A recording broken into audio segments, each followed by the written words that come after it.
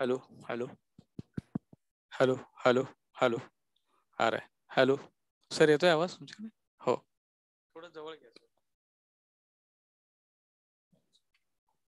yes hello am I audible to all the participants someone please confirm Ameya Shraddha Aman yes sir yes yes thank you for confirmation so yes sir uh, yes. So we are going to start uh, our session. Let me first introduce our session chair, Dr. Shravani Shahapure ma'am. She is a manager, governance, risk and compliance, cybersecurity in Capgemini and has 17 plus years of experience in academia, research and industry in the field of data security, cryptography, cryptanalysis, image processing, data science, and machine learning. She has completed her PhD in electronics engineering from VJTI Mumbai and IIT Bombay. During her PhD, she worked on cryptography and cryptanalysis problems. She published more than 10 papers in international conferences and journals. She is a public speaker and delivers lectures on various latest topics like cybersecurity, blockchain security, and cryptanalysis at various international conferences, events, and public forums all across the globe. Her interest in research, technology analysis, and improvement in existing technology based on the latest research. So we welcome you, ma'am. Thank you. Uh, we have uh, the sequence of papers. Let me get the titles of the paper. First, we have face mask detection under the threat of COVID-19 virus online. Second paper, we will have face mask detection and recognition system. Then third one, we will have information security by hiding data in binary images based on block diagonal partition pattern. Then next we will have deep learning based real-time malicious network traffic detection system for cyber physical system. And the last we will have offline feature-based intrusion detection system with support vector machine. So I will request all the uh, author to be ready as per this sequence. So let's, we will start with the first paper. Uh, author name is Dr. BJ Dange. Uh, sir, can you unmute yourself? Dr. BJ Dange, sir.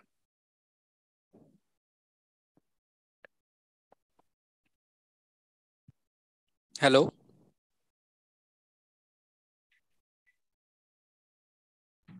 Recording progress.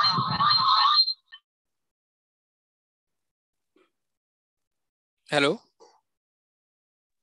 Yes, good morning, sir. Uh, Shraddha here. We both are in same group, so I'm Okay, going to present. Yes, yes, no problem. So please start sharing your screen. Yes, sir.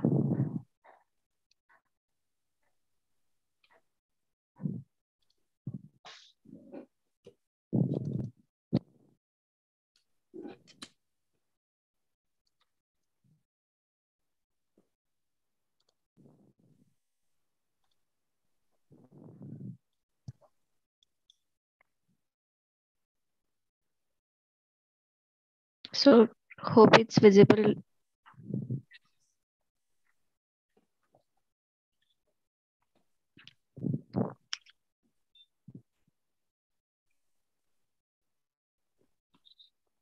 Okay, good morning all. Um, I'm Shraddha Kalate uh, from Sanjeevani College of Engineering. Uh, thank you for this day and this opportunity uh, to all the authorized member.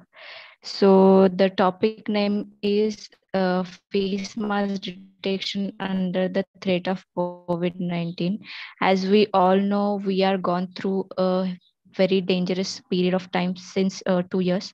So this is the system which we uh, introduce for, for the people uh, safety to take the mask. These are the outlines for the presentations.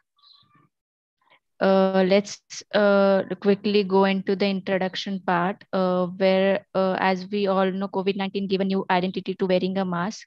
Uh, before that only mask wear is compulsion to the doctors for the virus protection. But once that virus came into the society all we need to be take care of the safety for the health. Uh, detecting mass with the accuracy accurately and efficiently is become increasingly as much as important. Uh, as a, at, at the initial period of time there is no such a data set available. Uh, but to introduce a system where the mankind efforts must be as minimal as possible is necessary. So we all good researcher started working over on it. Um, so to this proposed system is to detect the face masks and identify those who are not wearing the mask also giving the probability of at what level the correct mask on the position. Uh, these uh these in that system there are two classes like we can say two class model uh, for people wearing mask and those who are not wearing the mask. Uh, this system reduce the human efforts. Uh, likewise there is a already automated system over there. So the the one human cannot be needed to check out each and every individual person in any organization or any uh, any place where this system is installed. Uh, and the output will be the green box or a blue bo box as per whether face is with a mask or without mask uh, the objective of this system is to ensure the uh, meditate of use, wearing a mask in public places uh, not only in the pandemic period but also now also uh, there is a chances as some cases are where uh, in the society present uh, just the the intensity is little minimal but there is we all know such cases are still present uh, also to effectively provide the working of the model accurately. Uh, utilizing the uh, great technology image processing to identify whether the person is wearing mask or not and to develop an efficient computer vision based system focused on real-time automation monitoring of people face face mask detection in public place uh, to motivation for this topic uh, is to uh, just given safety from the global global pandemic to each and every individual and uh, to give an enhanced uh, usage of image processing in the field of uh, human safety. Um, scope of the system is the system is uh, easy to operate and can be used in a crowded area where the the health concern is uh, at the topmost priority and ensure the compliance of wearing mask of the system also provide the accurate uh, assessment of the individual in the public area, whether the person is wearing mask or not. Uh, these are the tools and technology which needed uh, for this system. Let's go through it very quickly. The algorithm which I have used is OpenCV. As we all know, it is a computer vision technology uh, technology or we can say framework uh, used for uh, most of the applications uh, like motion tracking and facial recognition object detection uh, and segmentation feature of the OpenCV is uh, there are many more, but in most of the image processing, uh, we use the OpenCV technology. Uh, also, we use the NumPy libraries for some mathematical calculation to just uh, check out the, the confidence level during the pre-processing of this system. Uh, con convolutional neural network is uh, used to train the model uh, by using the training data set. ReLU layer, uh, such an act, such like activation function is used to activate those uh, neurons and these are uh, max pooling is used to select out this matrix uh, the the essential matrix as we can say. So this is the system architecture. As you can see we first of all load the uh, mass uh, data set. Then we train the uh, face mask classifier with keras and tensorflow and then serialize the face mask classifier to the disk then phase two is uh, by using the load face mask classifier from the disk, we detect the image face images through image or through video stream and then extract the region of interest from that and apply the classifier on that region of interest image uh, to check out whether the person is wearing mask or not. So this this these are the uh, only the introduction part as i mentioned uh, to you the image capture face detection mask detection. These are some real-time results which i uh, gain from my system. As you can see this is real-time images. Though the if the mask is on position it will show you the result 100% the probability and the green, green box enclose that image and these are the results uh, through for no mask. Uh, the blue box will enclose the image with the percentile.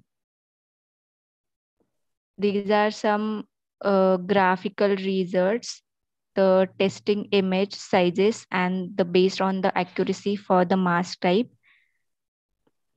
As you can see, uh, the by testing we got the accuracy uh, which is highest to the 99% and this is for no mask. Uh, the conclusion for this system, it is useful uh, in the recent time to detect the face mask. Uh, it helped to uh, ensure the reduce the manpower and the uh, you can say the the one more person in the health safety and to avoid the spread of COVID-19. Uh, we can also use as in software application and deploy it uh, uh, into certain area where the crowded places uh, like uh, um, hotels and malls and airport airports and the school and any organization level and the future scope for is that uh, you can um, use some iot based structure to give an sanitization tunnel to open the gate and to also embedded the temperature sensor to it. And also the next future scope can be to uh, check out the actual type of the mask it, whether it's an n95 surgical or a cloth uh, homemade mask.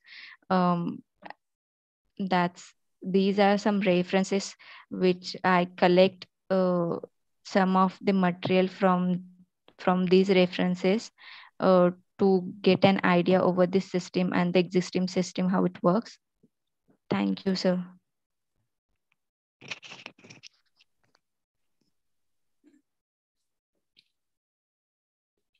Hello. Yes, ma'am. Much. It's uh, it's really a wonderful topic. I think it's uh, what we can is uh, current uh, situation. We are we had gone through a very tough time, and uh, now it's a need of a uh, you know R. Um, I think you have done a good job uh, uh, involving CNN.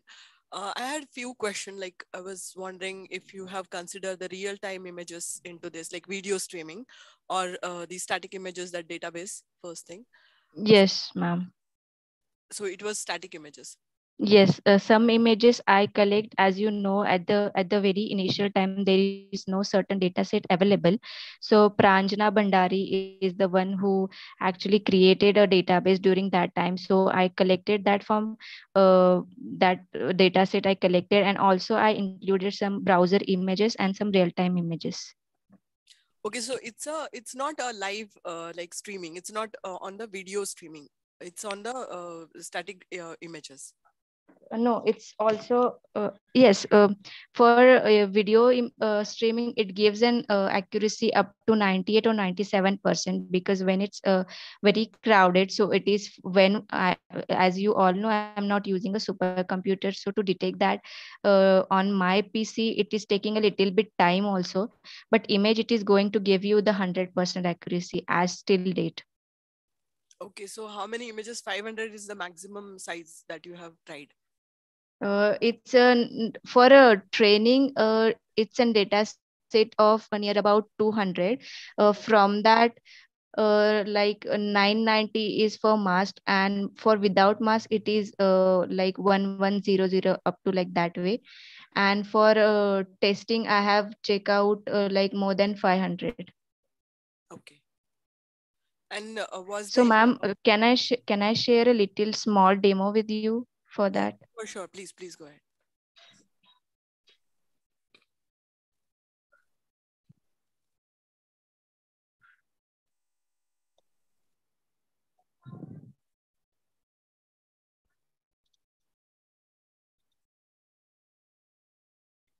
Just a minute, ma'am. huh?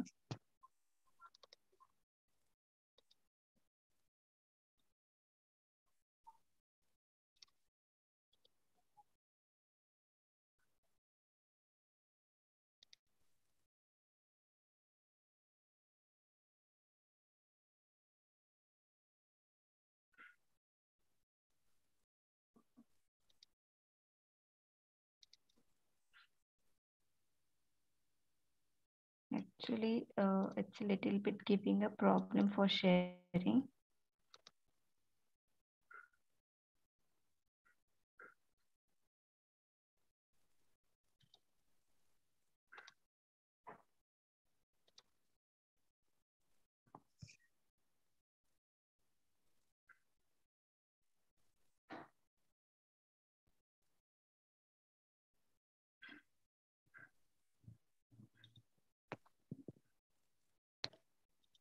I don't know why I'm not getting to like possible to share the video like share screen.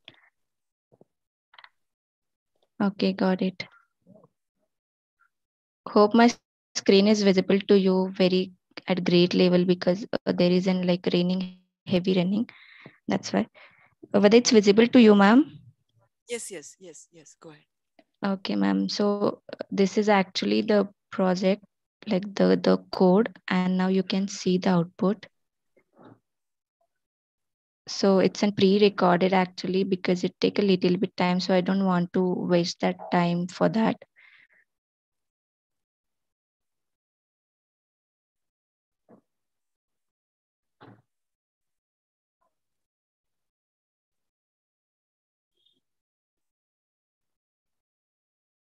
So taking the real-time image. And based on that, it is going to predict you the result on the terminal as well as on the screen, as I mentioned on boxes.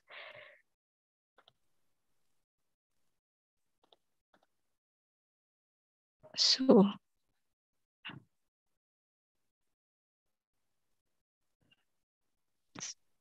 now you can see the box is little bit up front. Let's me take the another one. So here you can see, Yeah, yes, yes. Right? There is no mask for 100%. So here is the output gets stored. So output is the, I'm giving the path for that output in the, the code. So it'll get like that way. And this is the another one for mask. Yeah, it's good. And if it is uh, like like half cover, then also it is giving you the result. If it is a half halfly covered. Here you can see no mask for 92%.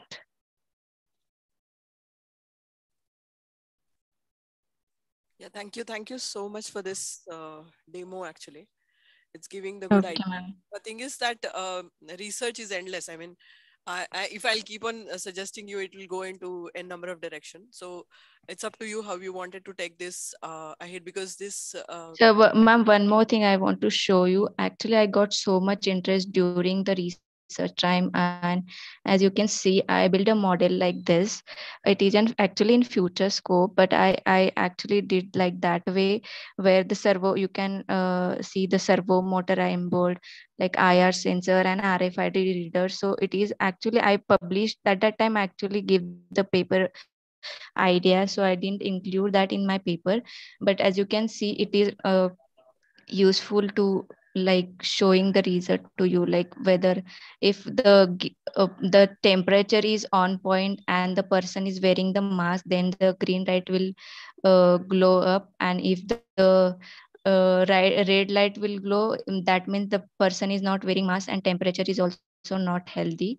And at that time the tag i introduce a tag for the uh, like rfid tag for the identification of that person good, really good. I mean, I that's what I was saying. It's an endless thing. you keep on improving. But uh, I'm happy that you are still experimenting. So all the best. Yes, ma'am. Thank you, ma'am. Thank you so much. Have a good day.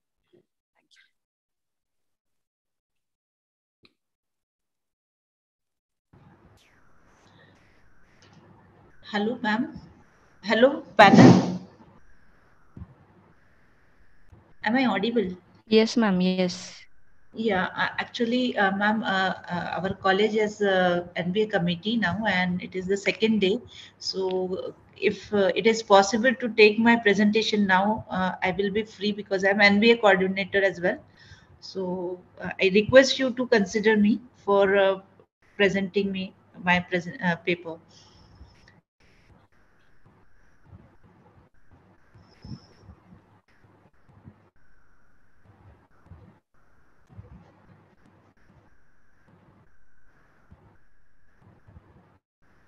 Your screen, no problem. Okay, thank you, sir. May I share the screen? Yes, yes.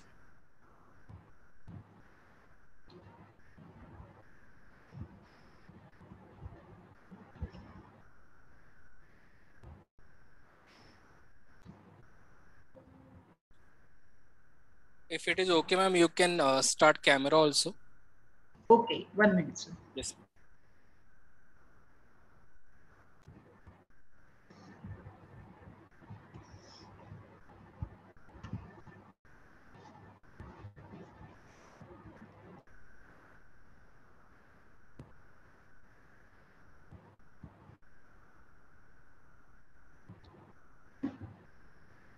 So, good morning, one and all here present. I hope I am audible. Am I audible? Yes, ma'am. Please continue. Okay, thank you, sir. So, myself, Mrs. Gyankamal J. Uh, I'm a PhD scholar at uh, Bharati Vidyapeeth uh, College of Engineering, Pune, and pursuing my PhD in the area of uh, information security, where I'm hiding data in binary images. So, in line to that, I'm now here presenting my paper uh, titled Information Security by Hiding Data in Binary Images based on Block Diagonal Partition Pattern. My guide is Dr. Bindu Garg ma'am. Introduction Due to the shift from paper to electronic paradigm, much information is transferred in the form of binary images. As we all aware that we now the trend is uh, instead of writing down the things, the photographs are taken for many documents, even some medical images, and many documents are transferred, which is in the form of binary uh, images. So during transmission, the confidentiality and security of information is compromised. So uh, the steganography and watermarking are the most popular means to serve this purpose. In both the techniques, secret data and a watermark are embedded respectively in cover images, taking care that it is imperceptible. So hiding data and keeping changes unnoticeable caused by hiding is a significant challenge for binary images. Most of the research for hiding data is on grayscale images where we can have 256 shades and the color images where we are getting 256 in three multiples that is RGB uh, domain. So uh, we are getting a large range of uh, pixel value change where it is very, very difficult in case of it is a binary images. So in such images, data hiding is done by slightly changing the shades of the selected pixels considering HVS system so that changes are undetectable in case of gray and color images. So this unnoticeability is required to be maintained as well for binary images, which is challenging due to availability of only two shades, white and black. So the key idea in binary image to achieve this is to identify area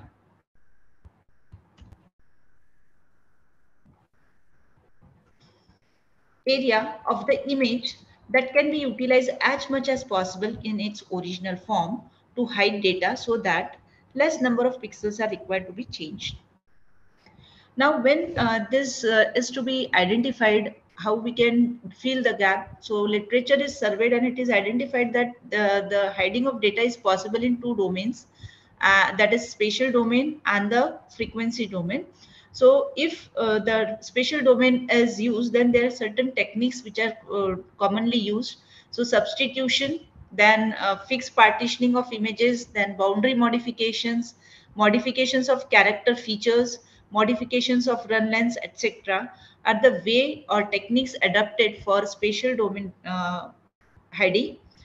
Advantages is this method has a good data hiding capacity if an image is found to be fraudulent, the owner of the secret key can spatially locate the alterations to help discovering the intentions of the hacker.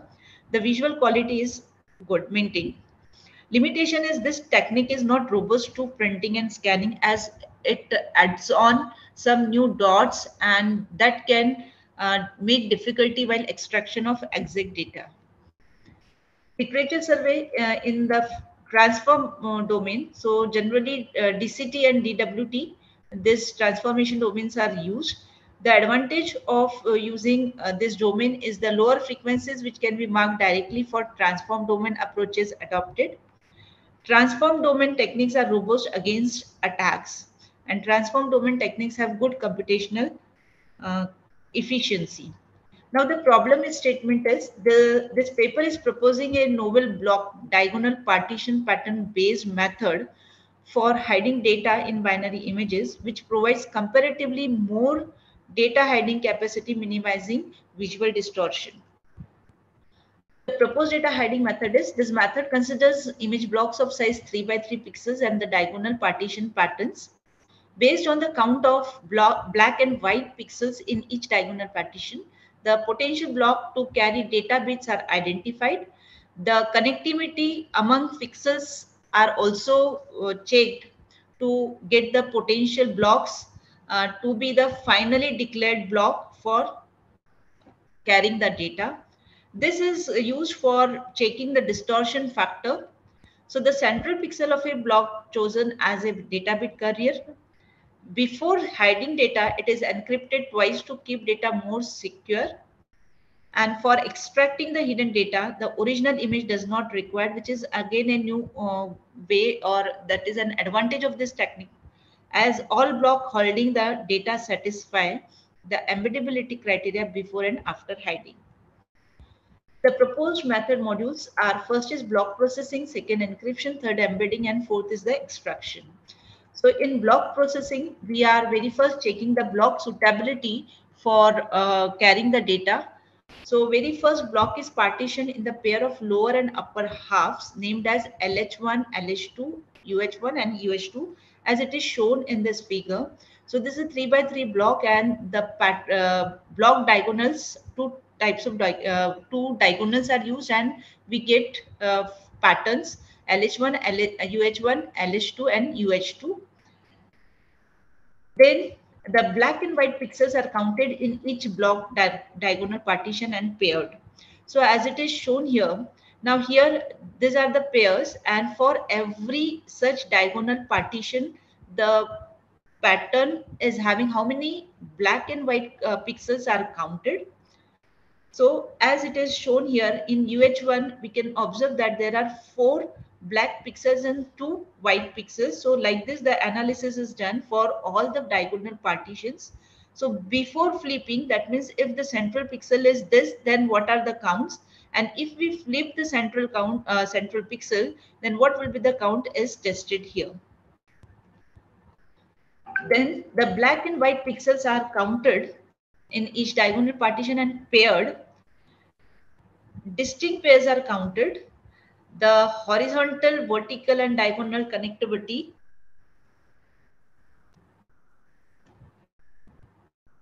are also uh, counted and if count is greater than 2 then block is suitable to carry data. So I would like to explain it here. So very first as I have discussed the count is maintained in such uh, patterns uh, in the tables where before flipping and after flipping, the analysis is written here. After this, as it is uh, said, they are paired. So here the pair is 4, 2, 3, 3, 3, 3 and 5, 1. Similarly, after flipping, the pair is 5, 1, 4, 2, 4, 2 and 6, 0. So these pairs are formed. Then what is the count of such pairs before flipping and after flipping is written in this table. So as we can see here, 3, 3 uh, is coming two times. So it is maintained in this table below it. So 2, 4, 2 pairs are coming one time, 5, 1 pair is coming one time. And after flipping, it is 4, 2 patterns are two times, 5, 1 is one time and 6, 0 is one time. After this, the connectivity is also changed. So horizontal connectivity is like this, vertically like this, and diagonally uh, like this. So before flipping and after flipping, the connectivities are checked. So as we can see here, before flipping, the three, all the three types, horizontal connectivities also exist, vertical as well as diagonal.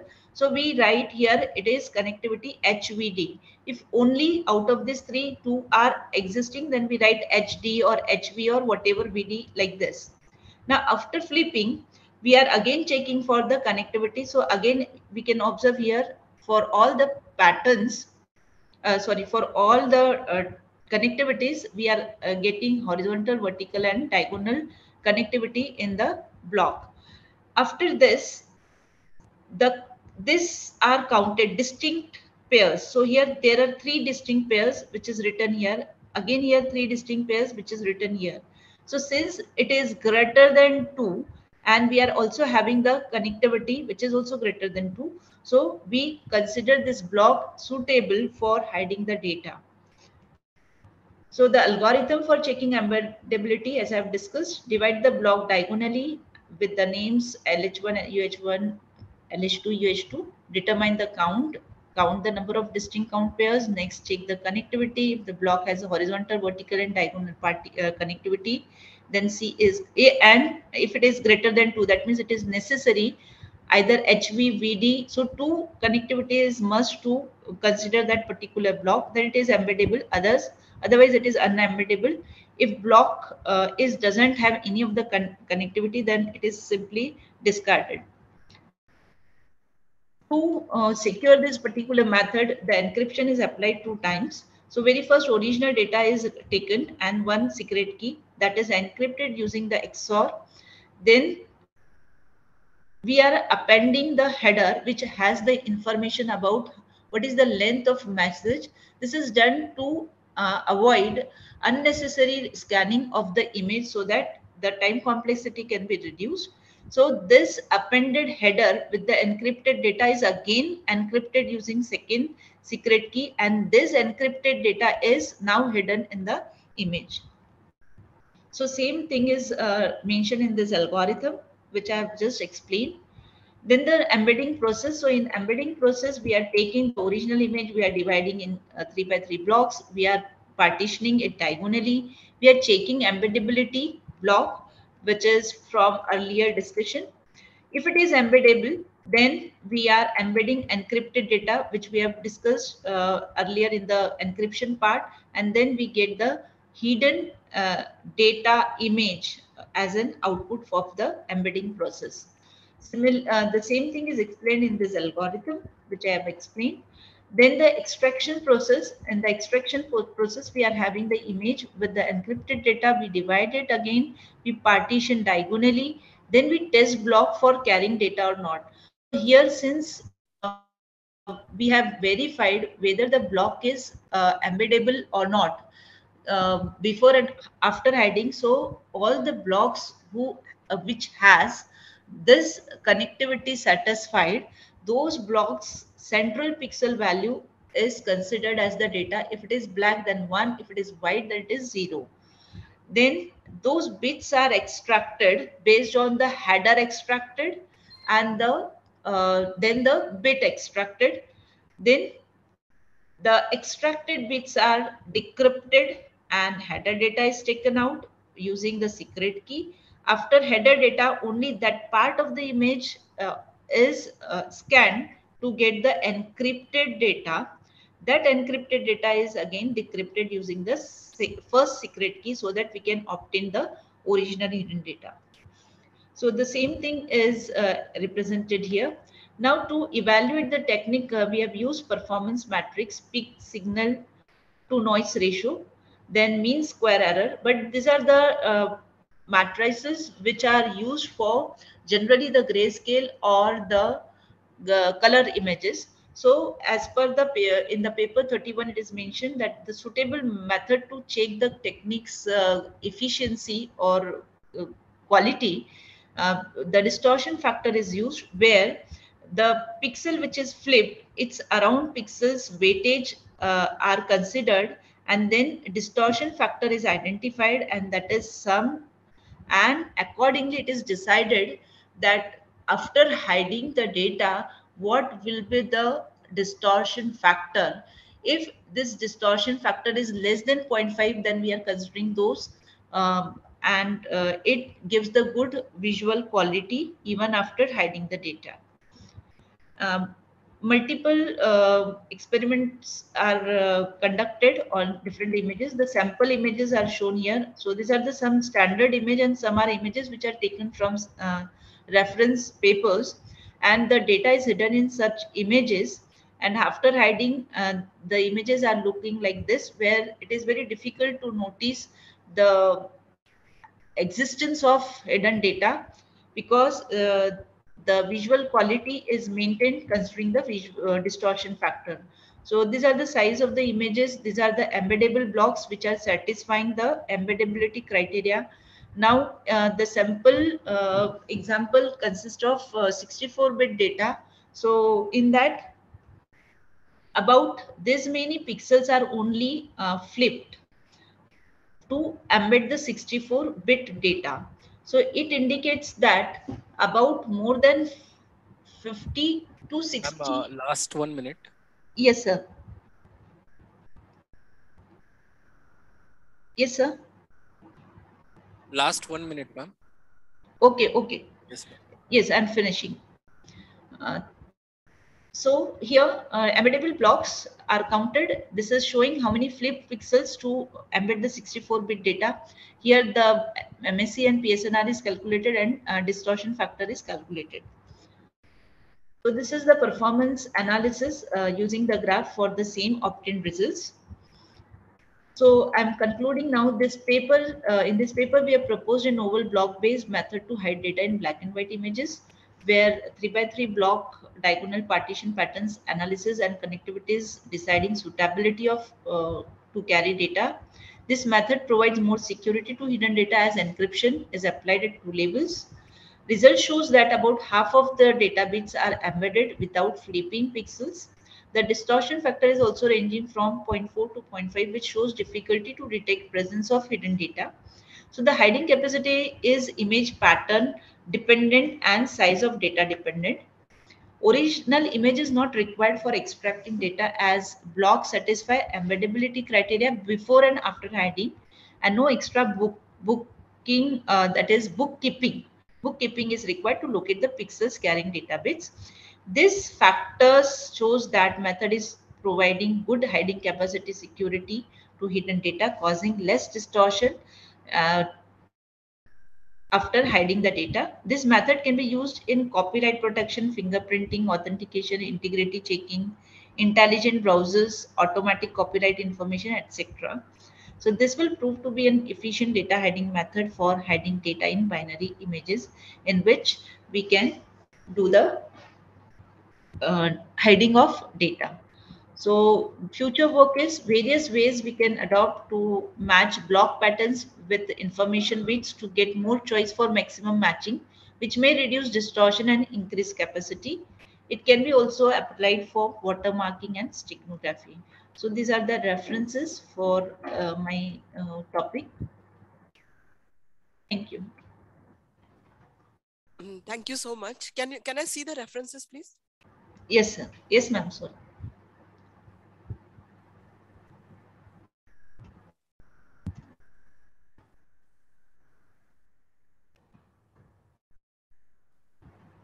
So any recent references? Yes, ma'am. Any recent references? Yeah.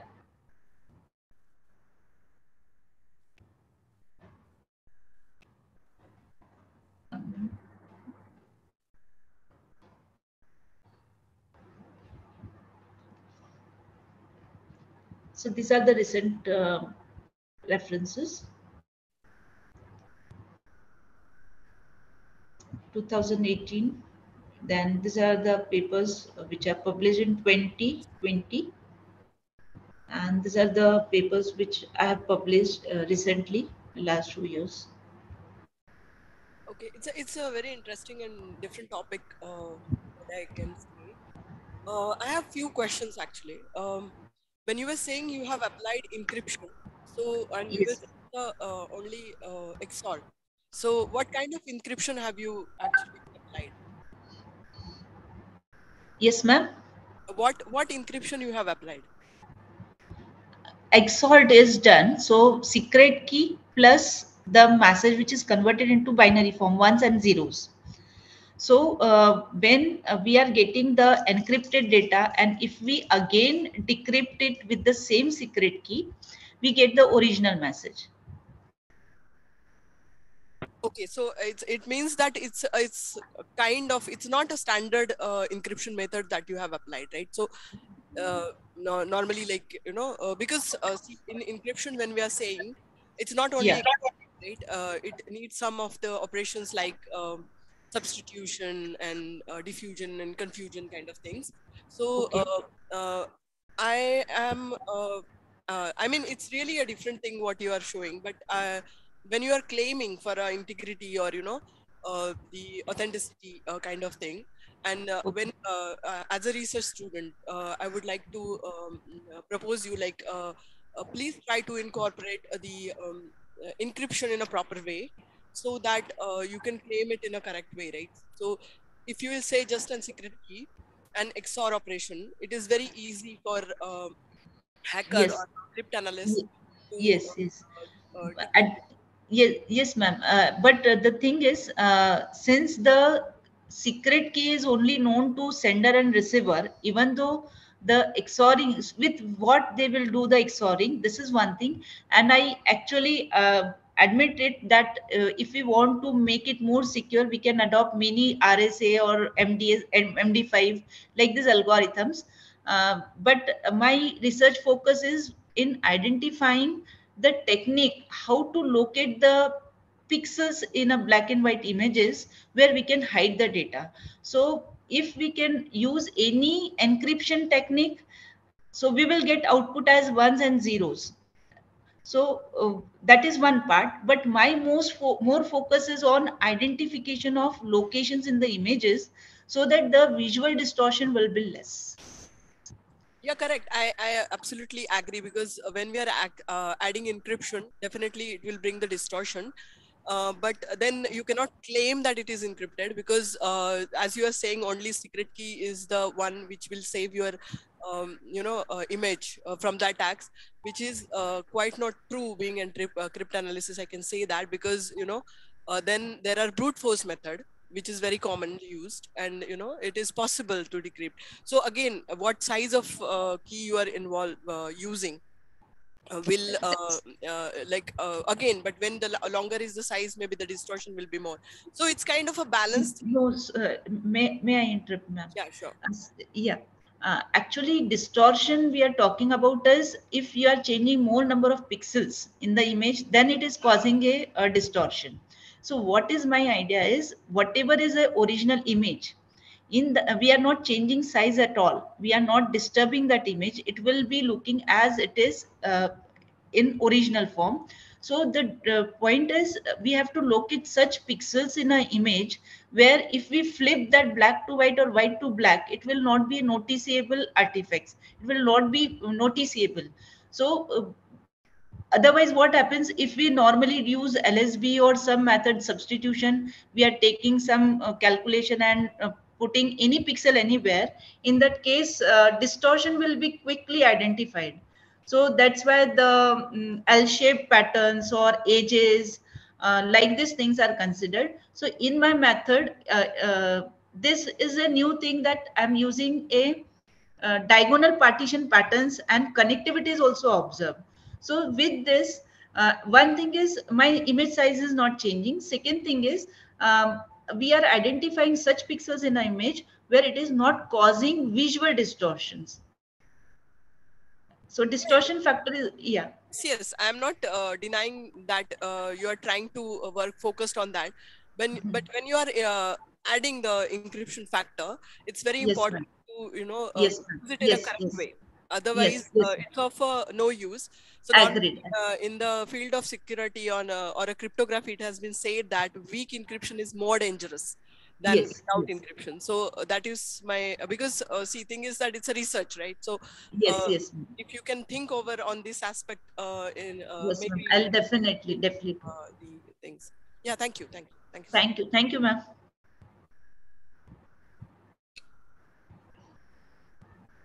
Thank you, ma'am.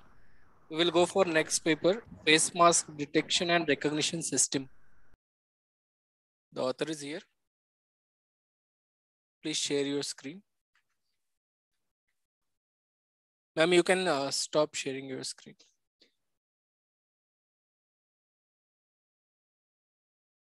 Yes.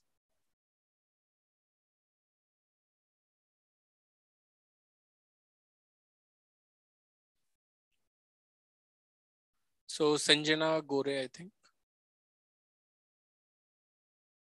Yes, Sonalika.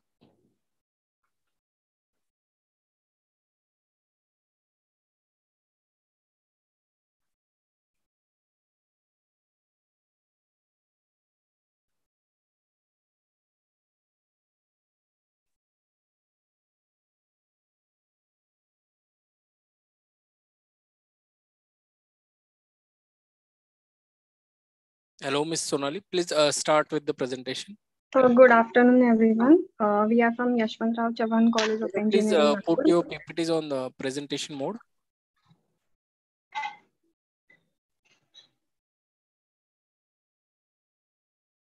Yes, continue, please.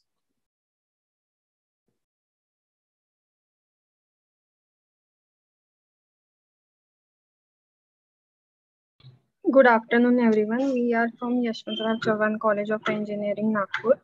Uh, our uh, presentation is on face mask detection and recognition system, uh, which is presented by uh, Sonali Gaiki, Ramya Madipati, uh, Sanjana Gore, and Rucha Deshmukh. Next slide, please.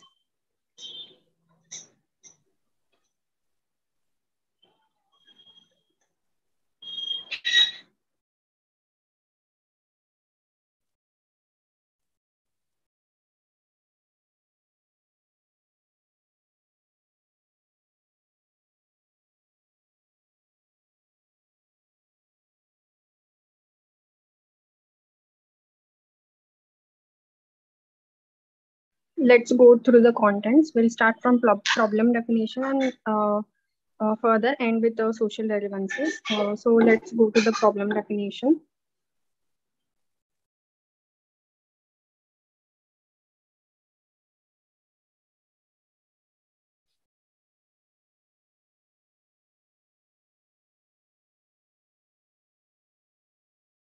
Uh, so CNN is a type of artificial neural network used in image recognition and processing. That's what we have used in our uh, system, which is specifically designed to process pixel data to implement face mask detection and recognition system as referred. Uh, so which refers to detect a person is wearing a mask or not, so that the person without mask get no uh, permission in public places to stop spreading the viruses. Spread uh, without wearing masks. Next.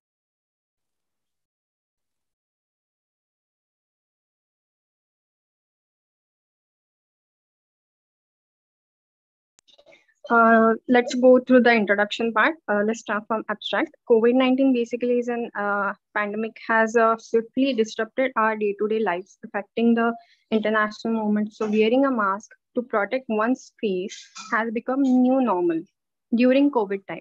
Uh, also, many public uh, service providers will expect the clients to wear mask appropriately to partake of their services uh, in school as well as in colleges. Almost every public spa- space, uh, uh, it will expect that students must wear masks, so the attendance will be taken by the system itself uh, by uh, verifying whether students wear a mask or not. If no mask will be there, then they will uh, not get the attendance or uh, permission to enter the space. Uh, this technique attains excellent accuracy that we have created. Uh, we investigate optimal parameter values for the CNN model in order to identify existence of masks accurately. Next slide, please.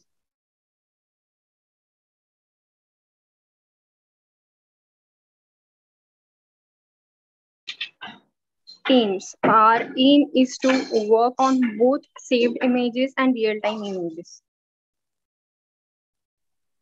Uh, whereas uh, the detector will recognize the mask face, and if the mask is there, then it will uh, allow him or her to enter the uh, particular premises.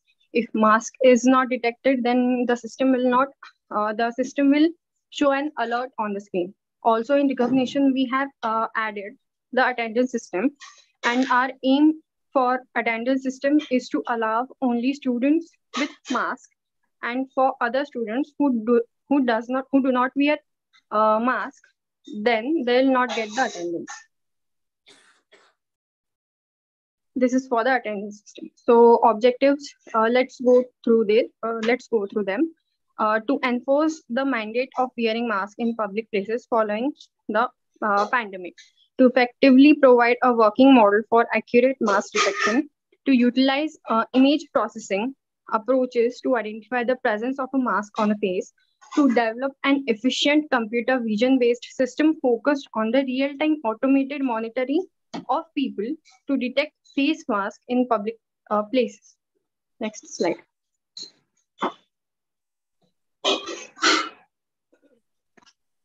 Uh, continue with the literature survey. Ah, okay. The next part is literature survey. We have uh, we have uh, we have searched or something on IEEE papers and other papers. These are the literature part. Can we go to the next?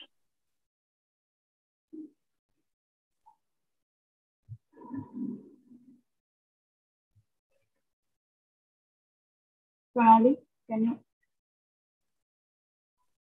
Uh, this is the patent search where we have researched on some papers and we have studied some papers of IEEE, uh, which is face mask detection and recognition by IEEE and the photographic permissions one by IEEE and the method system and computer programs for digital images. These are the patent search. This is the overview of our uh, project where in terms of block diagram, uh, block diagram, uh, here are the six major parts where first one is to collect the data and second is to pre-processing of the images where we have to. And we will split the data and the fourth is building model and fifth is testing model and sixth is execution. And we will go into deep into it the first one is to collect data. We have collected a data set consisting of 3,833 images, which consist of with and without mask for training our module. Uh, by taking the data set, we have first uh, applied, uh, we have first applied the face mask classifier where it, uh, where the images will be converted into uh, where the images is converted into grayscale and the size of the images will also be converted. And after that, we have split the data into two parts for training and testing purpose. For training, we have split, uh, we have to 80% uh, of data to get the accurate results and for 20% for test, uh, testing purpose. Uh, in the, the next one is building model. The tri for training, first we have built a model first, we have generated, uh, sorry, we have added the module parameters to it, which we need it our training to get uh, in our accurate results. For, and we have saved those parameters to compile the modules. For training of modules, we have used save data array, which is reshaped and resized. And then we, uh, as I told, we have split uh, split it for training and testing. Then we have created an algorithm which consists of face mask procedure and then trained a test module after that save it. And we have saved that. Here, that uh, if the data is positive, that is with mask, it will be generated with uh, green alert. And if the data is negative, which is without mask, it will be with red uh, alert and they will do, do this um, pop-up. Uh, the person is not wearing mask. In the execution model, uh, we have checked, uh, in execution, we have worked on a real-time images where the video stream is on live video stream and the a person in front of this uh, uh, this uh, video stream will be captured and his face will be and then we have called a training module where we have saved it and by that uh, the person placing in front of the camera uh, will get to know if there is he is allowed to allowed into princess or not by the green and red zone. This is the overview of our project and next.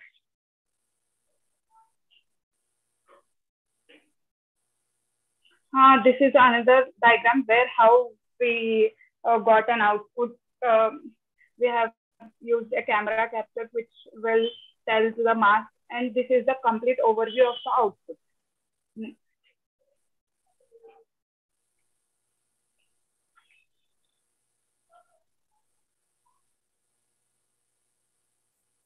Mm, uh, the future scope, uh, as we have done with the uh, uh attendance system, uh, face mask attendance system with recognition of the names also.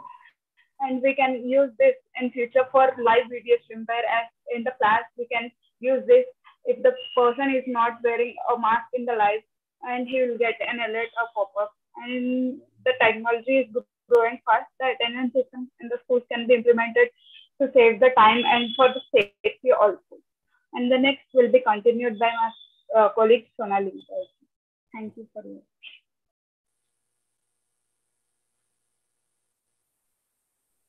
So here is the detailed design uh, in which we have collect, collected data sets which were with mask images and without mask images. Then uh, we have imported the necessary packages such as TensorFlow, Keras, NumPy, OpenCV, Python, SciPy, IMutils, and Matplotlib. Then uh, for training, we have used 80% of our collected data sets and for testing, we have used 20% of data sets. So total images we have taken, that is data sets we have taken for this is uh, 3833, uh, we, whereas with mask images were 1915 and without mask images were 1918.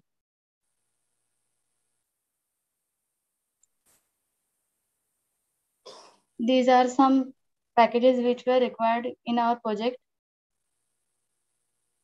which was TensorFlow, Keras, IMutils, NumPy, SciPy, Matplotlib, OpenCV, Python.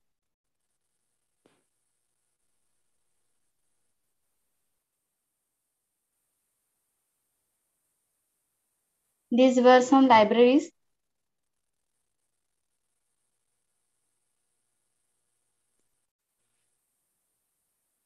now we have uh, we will discuss uh, about the results here uh, first first result is uh, when uh, there is no no one in front of camera it will detect nothing. And uh, then when person sits in front of camera it will detect whether the person is with mask or without mask.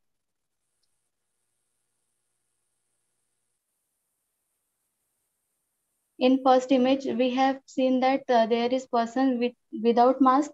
So there is red mark and uh, the warning is written no mask no attendance which has accuracy of 99.9 percent and in second image uh, we have seen that it has a person with mask so uh, the green rectangular appears and uh, for uh, proceeding there is a warning that there is a point that press Q for attendance with 99.98% of accuracy.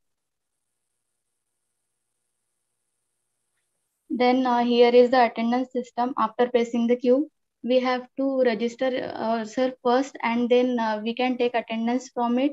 If uh, we didn't register in it, then uh, it will not uh, show our attendance.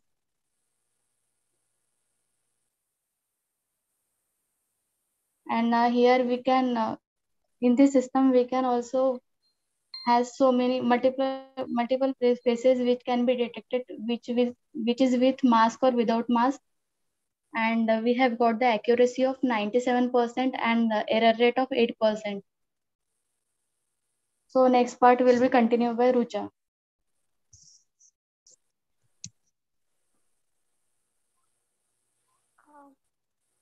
So the conclusion is the model provides a guideline for performing a multi-class classification on whether the face mask is worn properly and the associated category of the mask such as surgical mask, N95 mask, cloth mask, which can be achieved by gathering data sets of different types of masks.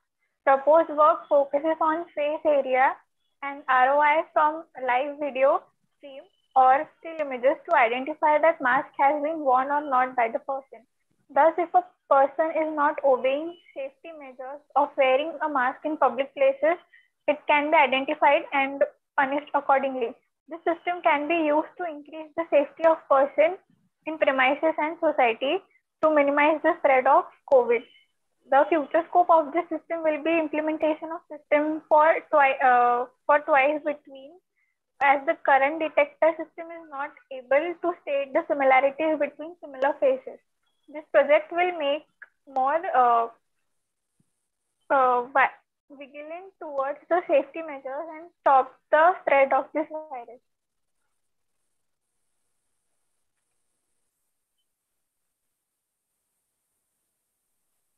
And these are the reference we have to, and we have talked about this in our literature survey and the patent search earlier also. And the next one.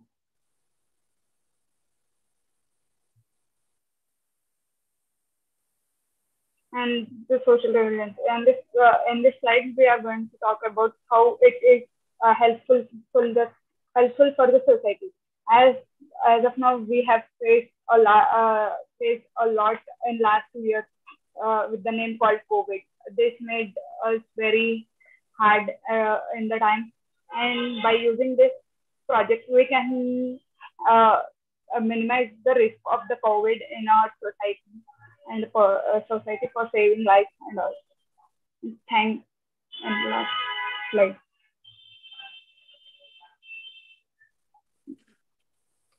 Thank you so much. I really like this topic. And uh, special about it is, is like multiple image can be scanned. So yes, it's uh, really good. I, I'm just wondering, I didn't understand the future scope correctly. So uh, that I would like to know what exactly you want to say. In future, uh, we have implemented this uh, this project for attendance system where the person will sit, uh, wait, uh, sorry, will stand in front of a camera and it will capture. But in future scope, we, uh, uh, in future we are thinking and we are thinking to work on a live stream video where the people are sitting in a class and working their own perspectives and the teacher is teaching. And the live video should capture the person, uh, people who are not wearing masks and send them an alert to wear the mask and all. Yeah, yeah, it's really nice. I mean, it will save the time and it yes. is easily. Uh, so uh, that means you are going to work on uh, angles. Uh, actually, we have thought to work on angles but as of now, we are a, BE uh, completed student, BE a graduate student right now. So we have placed in a different company. So firstly, we are uh, focusing on the part we are placed and we are on the training board. So firstly, we have kept it on a hold right now. Yeah, I can understand that. So, uh, but it's really good work, I must say, and it has a scope uh, for the improvement and it will uh, it is a kind of futuristic because if you'll work on the angle then it can be implemented on many places but i, I really yes. like your project. Thank you.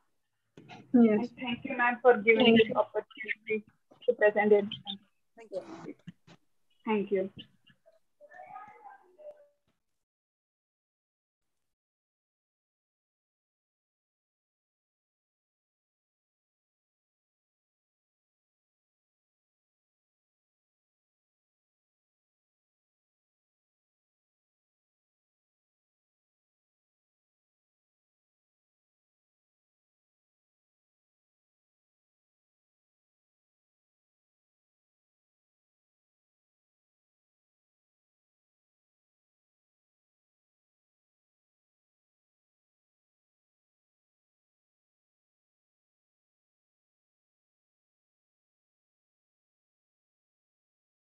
Uh, next paper, Ameya and Pranjal.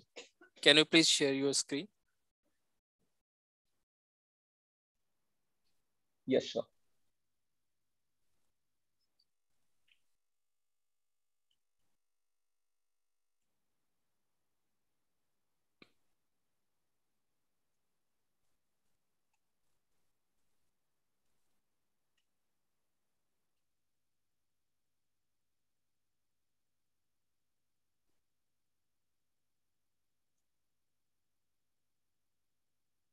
So is my screen visible? Yes, please continue. Okay.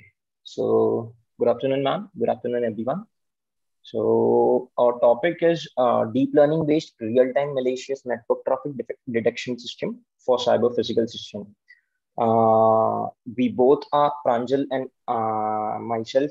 We both are graduated from Pune Institute of Computer Technology. Currently, we are doing our jobs. So um, coming to our topic, uh, I'll start with the security. What are the security challenges we faced uh, in IoT? So the first is lack of visibility. I'll explain each of them in short.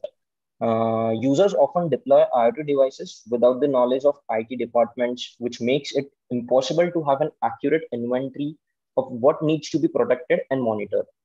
Second is limited security integration. Because of the variety and scale of IoT devices, integration them into security system ranges from challenging to impossible. Third is overwhelming data volume. The, this is the amount of data generated by IoT devices makes data oversight management and protection, uh, protecting it is difficult. The fourth is poor testing, which means because of the most IoT de uh, developers do not prioritize security, they fail to monitor effective vulnerabilities, testing to identify what are the weakness in IoT systems. And the last is unpatched vulnerabilities. Many IoT devices have, have unpatched vulnerabilities for many reasons, including patches not being available and difficulties uh, accessing and installing pack, uh, packages. So these are some of the uh, security challenges. And coming to our paper, uh, this is our block diagram. So I'll explain you uh, explain you how the flow is, and my co-author will explain you the model in detail. So the purpose of this paper is to provide an overview of security in the IoT sector and classification of different attacks.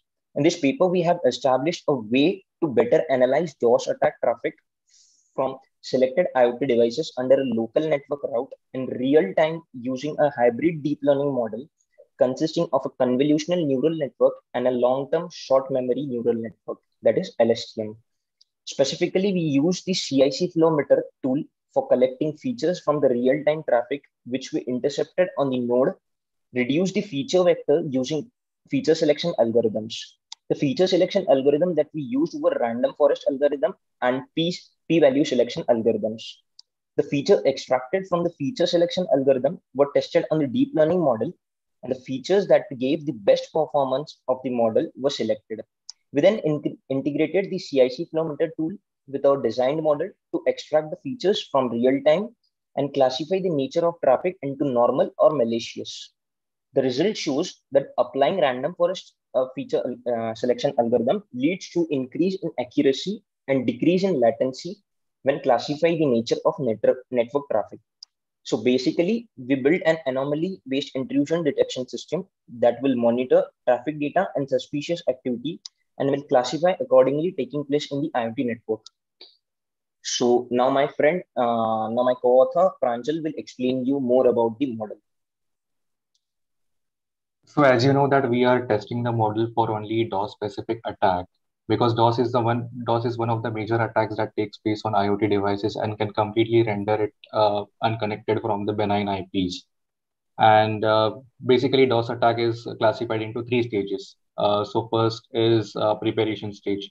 The attack is prepared, and the second is accumulation stage, where the fake data packets or the malicious data packets are accumulating on the IoT devices, thus trafficking the network.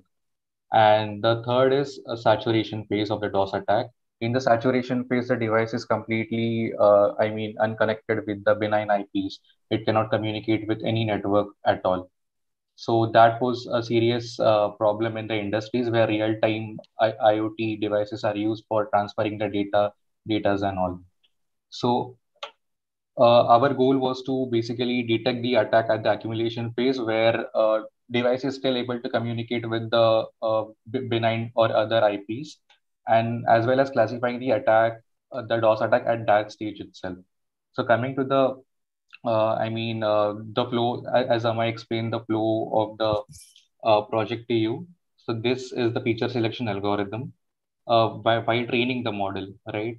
So the data set that we used for uh, getting the data is a CIC IDS 2017 uh, data, data set, uh, which consists of 80 statistical features, which are collected from the flow information of the network traffic. The, and the flow information is basically uh, the summary of the session uh, between two IP addresses and the data packets that are exchanged between them. So that is the flow and uh, the 80 statistical features which are calculated is are dependent on that flow uh, or the summary of the of that session which are like destination port then source port then we have iat time uh, the size of the packet the size of the payload and and all so such 80 features are calculated but uh, since we are uh, developing this model for iot devices we want uh, the, the model to be lightweight and it should be and it should have low latency. Thus, we, we need fast processing time. And 80 features are really not convenient if we want to build such, if we want to achieve such model. So we introduced feature selection algorithm in that, uh, which was random, and we selected uh, uh, two uh, algorithms. One was random forest, and one is p-value selection algorithm. The reason for using random forest is because random forest reduces the overfitting when we are training, uh, when we are uh, training the features because uh, a data set is classified a data set is classified into two subsets and those subsets are completely uh, decorrelated, decorrelated with each other and since correlation is not there overfitting is reduced and uh, the measure for uh, calculating the feature importance value was Gini impurity the and uh, as you can see the histogram for the random forest algorithms we selected a particular threshold and 21 such uh, features were selected from the random forest algorithms and when we use the p-value selection algorithm, p-value selection algorithm basically calculates the correlation between two uh, features. And whichever features uh, are maximum uh, are, are correlated, the, the p-value for that features are high. So if we want to reduce the overfitting, we want to reduce the correlation as well. So in order to do that, the features that are having uh, co correlation, the features that are having uh, that are correlated with, with each other, one of the feature we can drop. And by using this algorithm, we selected 43 such features. And uh, then we trained our model based on uh, the, the, the, the, features that we achieved from random forest and p-value selection algorithm. Uh, so on my next slide.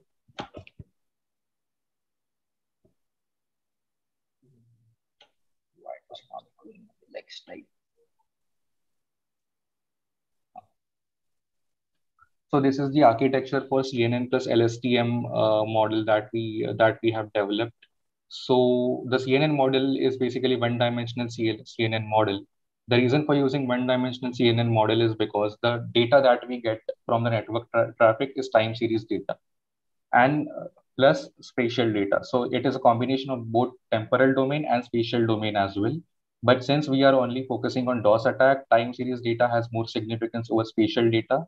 Uh, so 1D, uh, 1D CNN basically uh, can analyze both temporal data and spatial data as well. Now, from the architecture, as you can see that the filters that we have used in layer one of the 1D CNN are 64 and kernel size is kept three. The kernel size is kept three at the initial level because we want to establish some relationship between the features, the, the feature vectors that are closely related in space. In space. And in the second layer of the CNN, we have kernel size equal to 5 because we want to establish relation, relationship between the features which are far related in spatial domain as well. The third layer, we have the max pooling layer, which uh, basically extracts the significant features or significant matrix from the layer 2. And that output, we are feeding it to the LSTM, uh, LSTM layer and LSTM layer is uh, basically uh, RNN, which is capable of analyzing the time series data to, to a greater extent. where the one state is dependent on the previous state as well. And in while analyzing our uh, DOS traffic, we need that. And then we uh, the, the output of the LSTM uh, layer is fed to dense layer, which only consists of one nodes, which take the decision where whether the attack is benign or malicious. So that's the architecture of CNN plus LSTM. Uh, I'm an expert and uh, this is the this is the flowchart of how our model works of how our uh, IDS works in real time. So the model that we developed for experimentation purpose, we deployed it on I, I uh, we deployed it on Raspberry Pi, which is like the central controller system for all the IoT devices, and ours is the host-based IDS. So we tested our our model on uh, Raspberry Pi, and this is how the flow is. So basically, uh, the tool that we used uh, for capturing the traffic is CIC flow meter. And CIC flow meter, uh, when it captures the data traffic, it generates the statistical features. That is the uh, 80 features that are generated from uh, the CIC flow meter in real time. And but uh, we only need 21 features as earlier I mentioned in random forest algorithm that we extracted only 21 features out of it. And then uh, once the uh, feature extraction is done and feature selection is done, we do we do the data processing over it.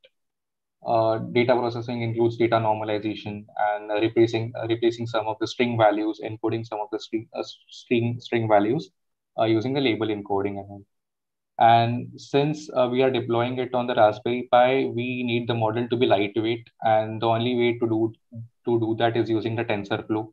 So the feature vector that we are uh, extracting after the data processing is done, we are converting it to the tensor. And that tensor is fed to the CNN plus LSTM model. Now CNN plus LSTM model will classify whether the attack is uh, happening, whether the uh, data traffic that is receiving on Raspberry Pi is malicious or benign. So based on that, it will uh, classify the nature of the traffic. And then once the traffic, once the nature of the traffic is classified, whether the DOS attack is happening or not, it will raise an alert and the process will continue on uh, continue in real time it, it is a loop basically so this is for the online i mean in real time what if we want to you know if we have some pcap file of the data traffic that is already already generated and we want to save that data and we want to also uh, detect the nature of that that offline traffic which we have saved for future training purposes so here is the on, uh, offline mode as well. The PCAP file that we are uh, generating through TCP dump, we are feeding it to, to the same, uh, it, it is going through the same process again. Like from here, we can see that the uh, read data from PCAP files, the block. Uh, the PCAP file is then going through feature extraction, feature selection, data processing, converting to tensor, uh, pass tensor, tensor to CNN plus LSTM model, and it recognizes where the attack is happening or not. so our model works both in online and offline mode as well. Uh, so that's it. My next slide. And these are the results, uh, results of the CNN plus LSTM model that we achieved. So the column number second, which you can see the model one random forest. So these, these model was trained using the features that was extracted from random forest algorithm, which we achieved 21 uh, such features and the accuracy for uh, that is 0.99 recall is 1 0 f1 score is 0.99 again and precision is 1 uh, the and this is for model 2 uh, which we achieved uh, using p-value correlation algorithm. And 43 such features were extracted. Uh, the result for that is 0.99 uh, accuracy recall is 0.96 f1 score is 1 and precision time is 0.982 which is approximately close to that of 21, but the processing time is different. Uh, the processing time for 21 features is 1.18 seconds, which proves that the lat latency is reduced for 21 features uh, model. And the model 3 is basically training all the features in the CIC IDS dataset, which were available. Uh, and for that, uh, you can see accuracy is reduced. Uh, recall is approximately the same as uh, that of 21 uh, precision is reduced as compared to 21 and 43 features, and latency is increased, which is 2.139 seconds. Uh, so hence we preferred the model with 21 features. And these, uh, these are the training results that we achieved when we trained the model with 21 features. So the first is the accuracy curve. As we can see, the training and validation uh, curves are pretty much close to each other. Last one minute. Yeah, sure. Uh, the bias is very low for that. And from the loss curve, it is visible that uh, the variance is very low. Hence, low bias and low variance makes a perfect model which does not overfit. Uh, my next slide. So now um, I will explain the results for 43 and 78 features. As we can see, the bias is on lower side and the variance is on higher side. The uh, model captures noise and slightly overfits the data, which is not the ideal case. So that's why we did not select it 43. And for the 78 features, as the bias and variance values are the higher side of the uh, higher side, the model is not an accurate model. And that is why we selected uh, 21 and not the 43 and 78 features.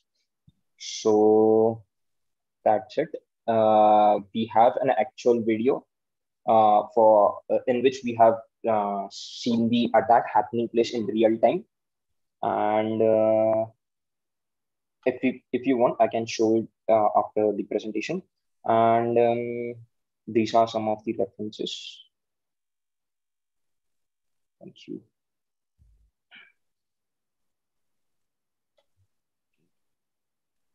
Thank you so much. I would like to see the demo. Okay. Yeah ma'am. Sure. So this the demonstration we have actually implemented on raspberry pi only. And how may please start. Yeah. Just a second. I'll increase the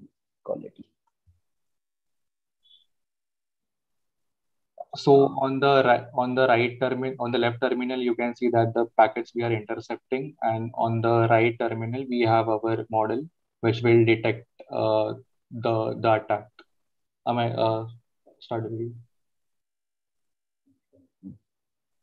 I think we can't wait for eight minutes, but if you can show. Yeah, ma'am. I'll I'll fast forward it actually. I mean, we can directly show you uh, the starting phase and we'll skip to the ending phase of the where the attack is detected. Yeah, yeah. Uh,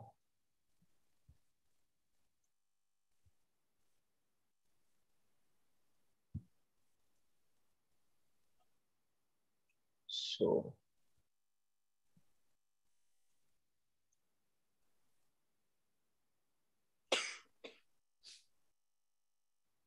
So here we have two options, online and offline. So we are choosing real time first. And uh, for data packets, I was randomly scrolling through Google. And on the left, as you can see that the data packets are, uh, are intercepting and on, and on the right, you can see the statistical features which are calculated in real time and decision is taken whether the attack is happening or not. So green color uh, indicates that it is benign for first. The green, uh, yeah. So after some time, uh, we got to see the DOS attack. So we, uh, for DOS attack, I mean, we uh, attacked our Raspberry Pi with multiple devices, three to four devices using some software. And uh, our, our model was capable of uh, recognizing it the red color indicates that the attack is happening and it is recognized. So actually, we can't see the colors and all, but I think okay. that's okay. Uh, it's really good project. Uh, so uh, have you like gone through? Can I see your references? I mean, is yeah. something similar kind of thing has been done? Yes. Yeah. So the most similar thing that has been done is the reference number three, right? Uh, they have they are using CNN LSTM hybrid network but the thing is uh, it is not happening in real time and uh, they are using two-dimensional cnn so they are more focusing on the spatial domain but we are more focused on multi cnnns uh, we are more focused on temporal domain. That's it for ddos attack specifically. Okay. I think it's really good. I mean i don't know which industry you work in but uh, i think it's uh, because uh, cyber uh, security is booming and people are looking for the solution and there are so many uh, product industries would like to you know opt for this and iot is one of the uh, what is what you will say is the latest booming field next um, so i think it's really good project i really like it yes. and uh, you have so shown of uh, three models which is very important um, and uh, I think that uh, that gives the wholesomeness to the paper. So it's really good. Thank you. Thank, Thank you, ma'am. Thank you.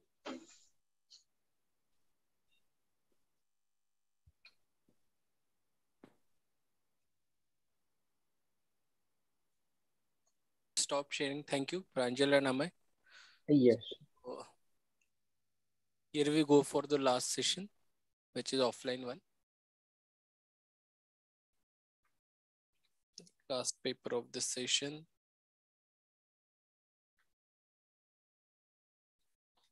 Paper title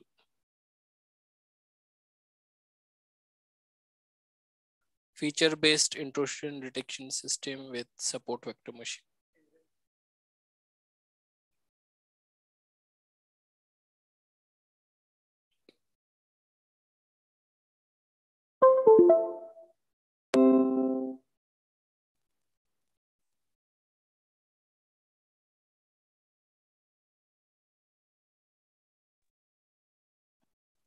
Hello. Uh, hello, sir. I am Shilpa. Hello. Ah, yes. Uh, sir, session, uh, session uh, 2 from uh, 2 p.m. Na? Yes, we will have some uh, delay in that. Maybe 15 minutes. Because my paper ID is 86. Yes. Okay, is okay sir. Okay, no problem.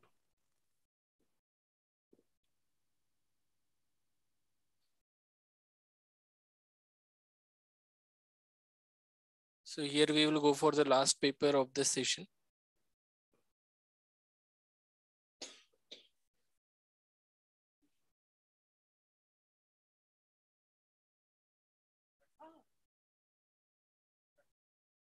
Yes, sir, please start.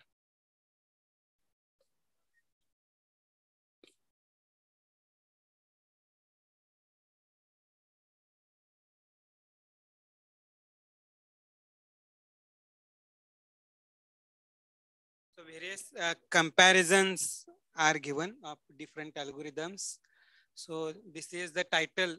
The first paper is about key feature recognition algorithm of network intrusion signal based neural network and support vector uh, machine. So actually uh, we selected this NSL KDD data set. Then uh, the second is about anomaly based intrusion detection system through feature selection analysis the third, uh, so various algorithms are used that are compared actually. Then next is performance comparison of SVM, random forest, and other uh, learning machine for intrusion detection system. So here algorithm is used SVM. Next. So decision tree, random forest, KNN algorithms are studied for detection of these intrusions genetic programming, uh, fuzzy inference system, then machine learning, ranking. So uh, there are many advantages and disadvantages or limitations we have mentioned in this. So why NSL, KDD and limitations? So because very few publicly available data sets and among them NSL KDD is considered as a benchmark. So due to privacy issues, data sets used for network traffic analysis are not easily available. So there are uh, limitations also. It does not represent modern day attack structures and methodologies.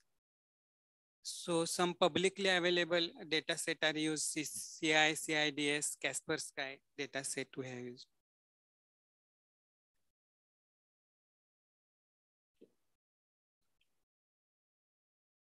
This is about uh, data set we have mentioned. So we are referring PCAP file. Actually. Next. So this is another uh, data set, UNSWNB uh, 15. So it overcomes the limitations of publicly available data set, among them NSL KDD. So which uh, covers the modern day attacks basically. So this is the proposed uh, system. So here the data is collected and the pre-processing is done and various features are applied to it. And so in, uh, with the help of uh, intrusion detection algorithms, the intrusions are detected and the alarm is also given. So we are going to show the various data uh, features that we have used. Okay, next. So this is the PCA technique can be also used for feature extraction, basically. Next. SVM is also used. We have also compared uh, these models. ANN is also used for the purpose. Next. We have used the software tools also. That is Anaconda, Python, then Git, Argus, G-Control. These are the various tools used. Hardware, this is the configuration of hardware mechanism and dataset that is NSL, KDD, even SWNB 15. These are the various software tools, libraries used actually. So this was done uh, with the students actually because students are not here actually. So on the behalf of students, we are presenting it actually. And the TCP dump mechanism, so which collects the data, that is a raw data set. We applied various tools, Argus, G control, and uh, depending on the feature set, so we concluded that this is a net intrusion detection happen. Next. So TCP dump, that is the raw data set data we have collected.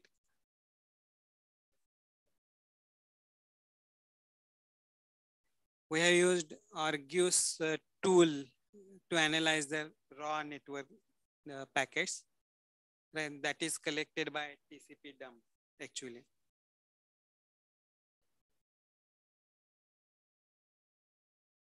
So this is another tool for uh, analyzing the raw packets, G2.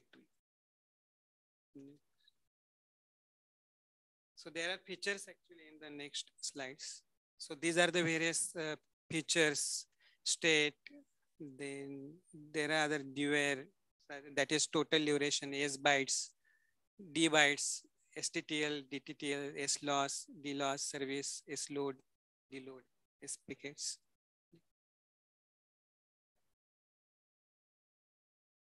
So swing, Dwin, so that is value of source TCP window advertisement, value of destination TCP, source TCP base sequence number. These are the various features uh, we have collected actually. So various features like jitter, source jitter, destination jitter, start time, last time. Right? Then source interpacket arrival time is also calculated. So these are the various features. These are the additional features that is CT, SRV, source. There are other features which indicates number of connections containing the same service, number of connections containing same destination address, then source address, then other features, general feature, general purpose features are IP address. That is one of the uh, analysis we have done. CSV file we have taken into consideration actually. Input was uh, log data that is uh, data set and the output is normal or attack uh, based on the features. So this is detected actually.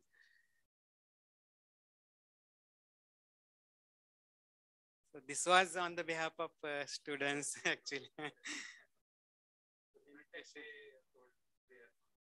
Uh, yeah, due to some reason.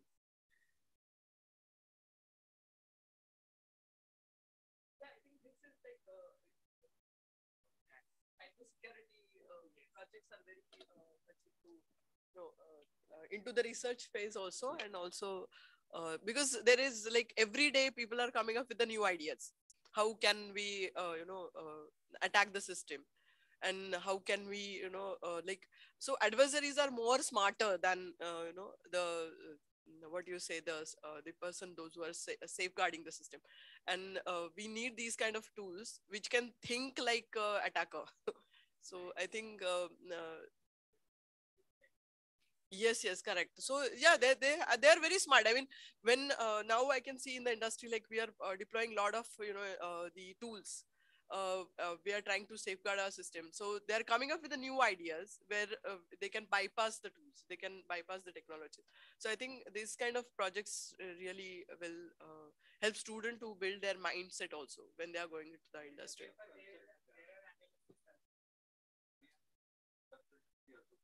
Okay great. Yeah it's really i mean this is like it's a never ending field now because everything is going live but yeah so it's nice. हाँ correct.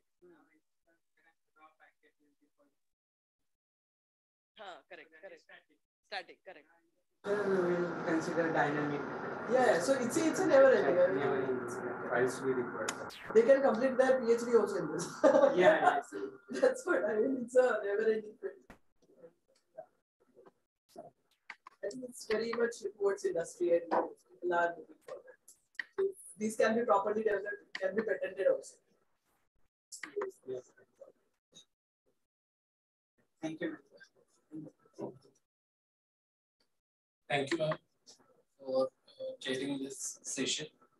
Uh, with this last presentation, I declare that session has, ended. We will uh, start uh, session two at 2 p.m. sharp.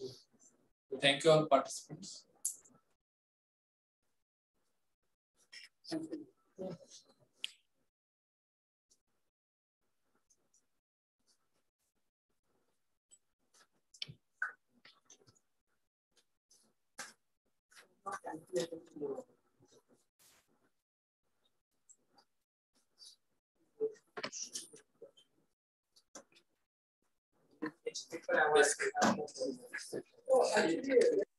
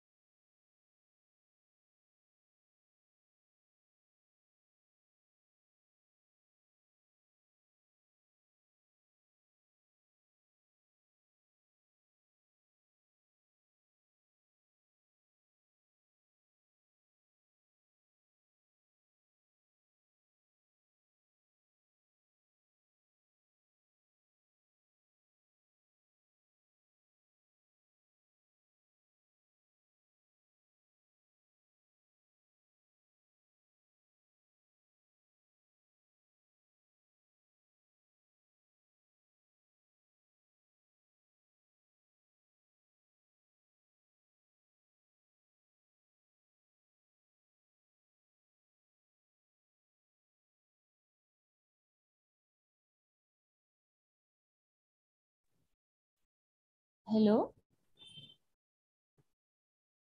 Hello, sir. I am audible.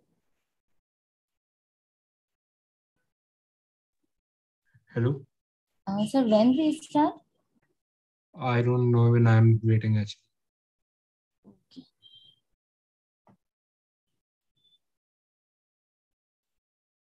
Excuse me, sir.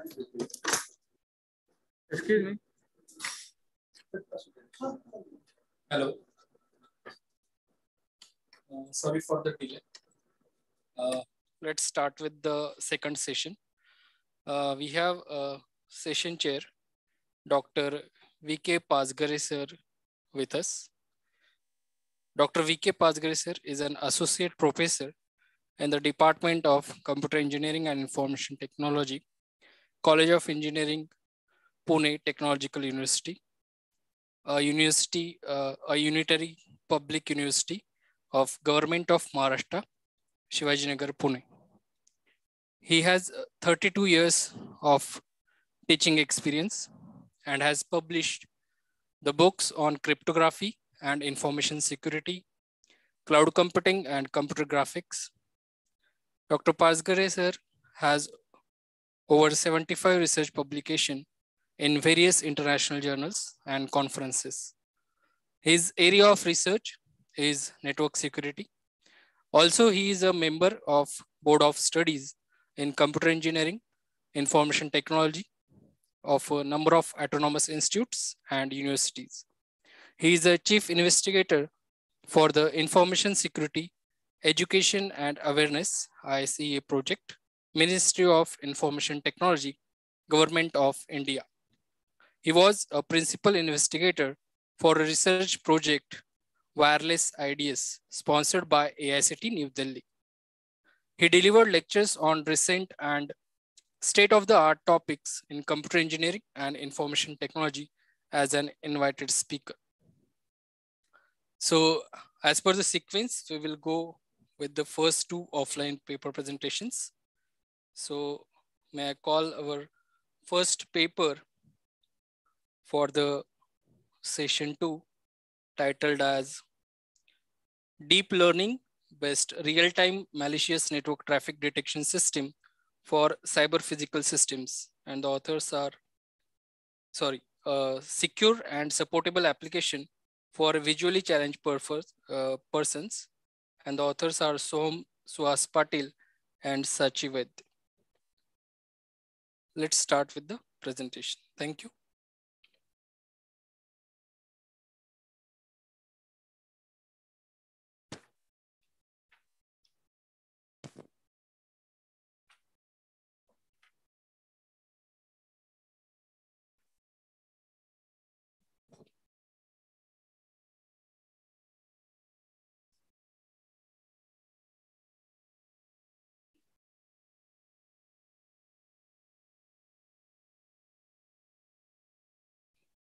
Uh, we have total 15 minutes for the presentation.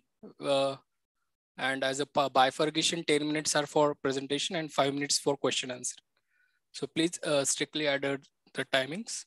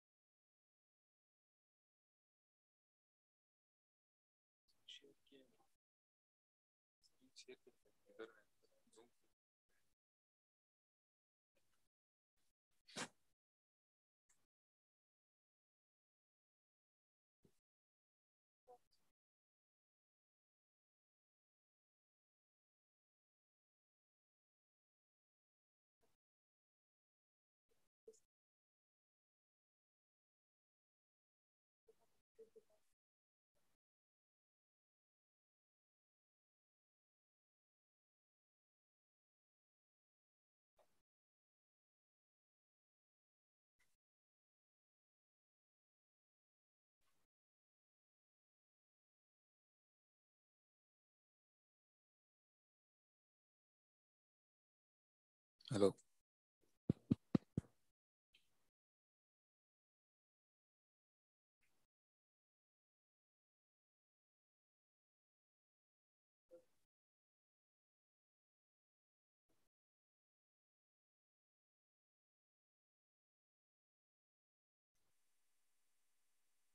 Hello. Hello.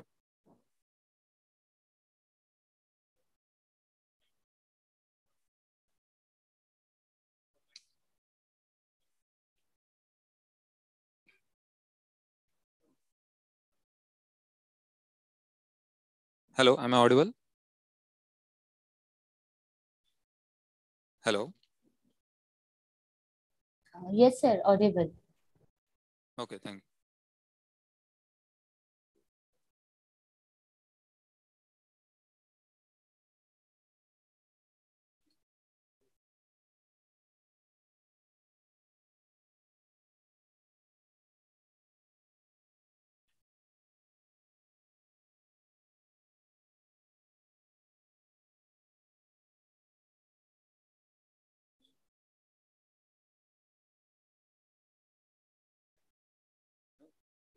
Connected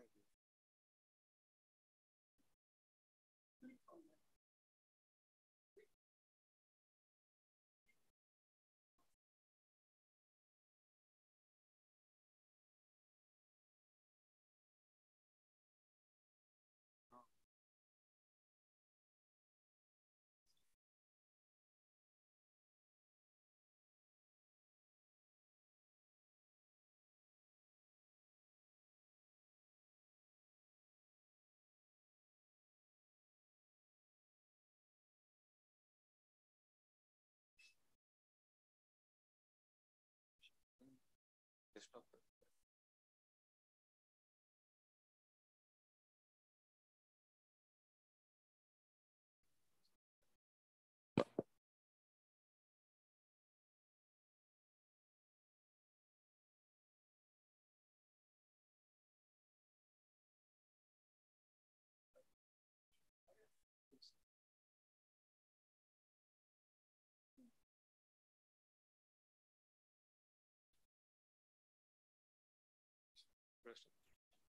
Good afternoon, everyone.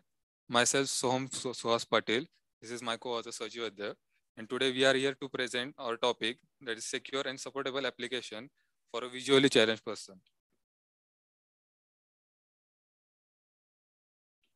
So, the technical developments in today's world have constantly been focused for the betterment of human beings. There is a need for secure and supportive technology for betterment of human beings. According to a recent report of WHO, there are uh, uh, that is dated 14 October 2021. They have cited that there are more than 2.2 billion people around the world that have visual impairment. It becomes a more challenging task for the technicians when the techn technology is being modeled for any physically challenged people. Unfortunately, uh, India is homeland to world's leading visually challenged populace. There are also uh, big responsibilities on technicians to prepare a secure, user-friendly, and reliable system.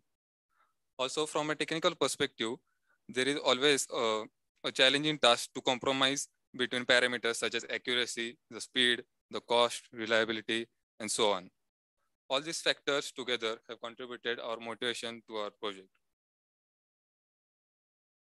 Through this, uh, through this project, we have uh, used the appropriate combination of our algorithm, platform, and coding language to implement a concept that will be effective as an outcome. Representation of information from basics up to the experimentation is helpful in understanding for beginners. We have also made the concept more understandable by providing more simple and clear graphical representation of our steps that are followed. We have also provided a less expensive and uh, solution to the issues with an appreciable efficiency. As you can see, the vision-based assistive devices are particularly divided into three categories, namely monocular, stereoscopic, and RGBD. In the table, they have been differentiated based on three parameters that are user-friendliness, robustness, and the feedback of these three systems. The monocular camera-based systems are almost implemented with smartphones using single camera sensor mounted and capturing videos and process to analyze. The stereo camera contains two or more lenses to be mounted to capture 3D images. Whereas the RGBD camera system takes images with deep knowledge, that is the distance to the sensor. The information present and, proce and processing time depends on the type of camera sensor used. The proposed system or project uh, is as follows. First, the acquired image uh, is provided as an input to the optimized and the popular uh, algorithm of OpenCV, that is YOLO, which stands for You Only Live Once. Afterwards, the image is stored in the database and processed uh, and is processed according to the task which is selected by the user. That is either to de uh, detect the objects in the surroundings uh, or to identify a person or to identify a text and so on.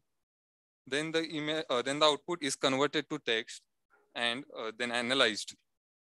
And finally, the text is converted to audio, which is provided as an output uh, via voice assistance to the user.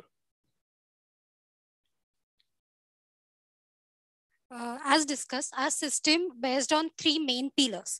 That is the front end. The front end will be the Tkinter app. That is, we will deploy our system on this app. It is easy for GUI application of a Python code. The second main pillar uh, is Python coding and the OpenCV.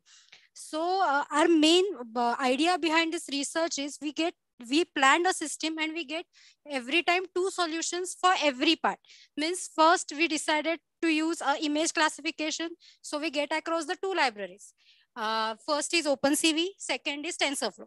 So we have to decide from which we, we will select. So we, we decided to go with the OpenCV. So just imagine if I say uh, there are a picture of a cat, dog, and a person in the in the image. Our human brain will uh, easily analyze how the picture is. But if we provide the same image to the computer, it is very complicated process to recognize the objects in the images in simple words, it's nothing but a headache. But uh, OpenCV, that is open computer vision, open source computer vision makes us easy because it contains 2,500 2,500 algorithms implemented. So it's easy for us to scan the image, to get the image segmentation, to read the image, and to uh, get the writings from the image. That is the pixel-wise uh, identification from the image gets easy. So we decided rather going with the TensorFlow, we used OpenCV in our system.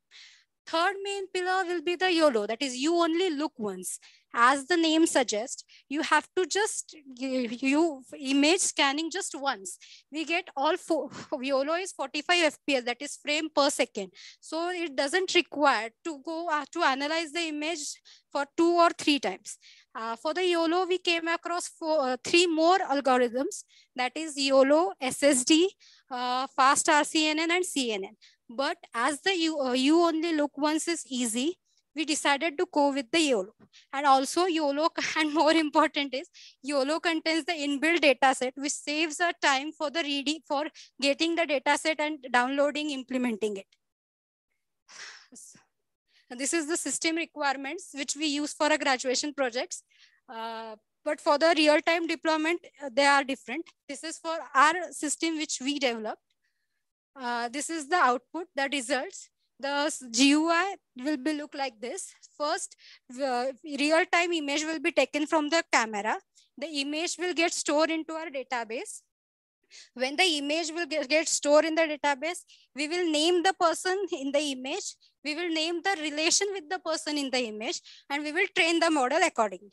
When the blind person will have this system or wear a smart glass or system like this, it when the same person comes into the view, the person will get audio reply that is person detected is suppose me i'm so person detected is shachi hello a friend so he will get to know who is communicating. He, he is communicating with whom.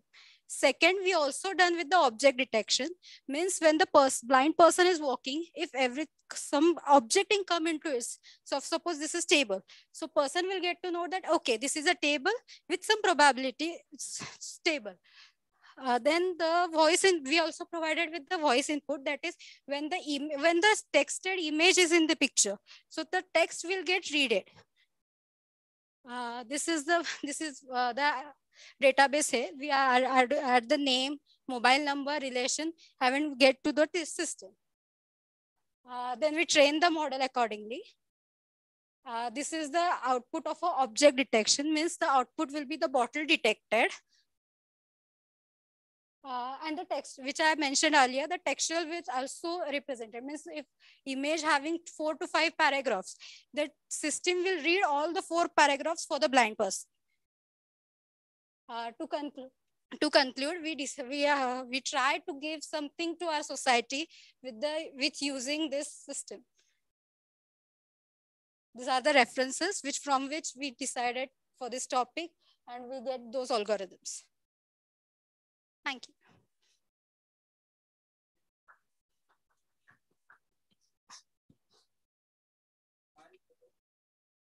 Uh, you only look once because YOLO has 45 FPS.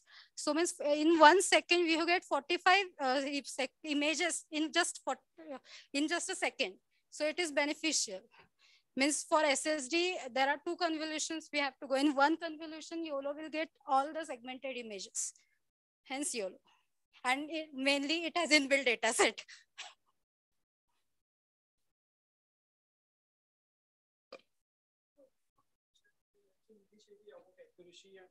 it's okay.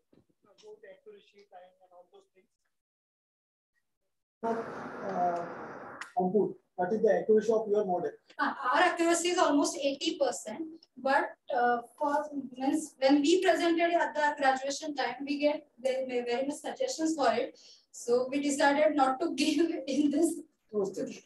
Uh, now suppose the, that data set is sufficient, whatever the data set is available, Yeah, for yeah, for our scope, it is sufficient. But for the future scope, we have to use various data set for. But if the data set is available, yeah. then what is your main contribution in this work? Because you have just captured the image. Yeah. Okay. So training is automatically happen there. We coded now. We coded the training for, according. For what purpose your, your coding is there? Uh, I didn't get your question. Because this, all these algorithms are available, code and all these things. What is the coding part from your side? Okay, in first we take real-time images. So then they get stored, then it, we train the model, then the object we detected, the object which are not in the dataset, there are two to three objects. So we try to give that object to the system. So see here, training and all those part, coding, already code is available for these systems. Or not? Yeah. So an inbuilt data set is also available. Yeah.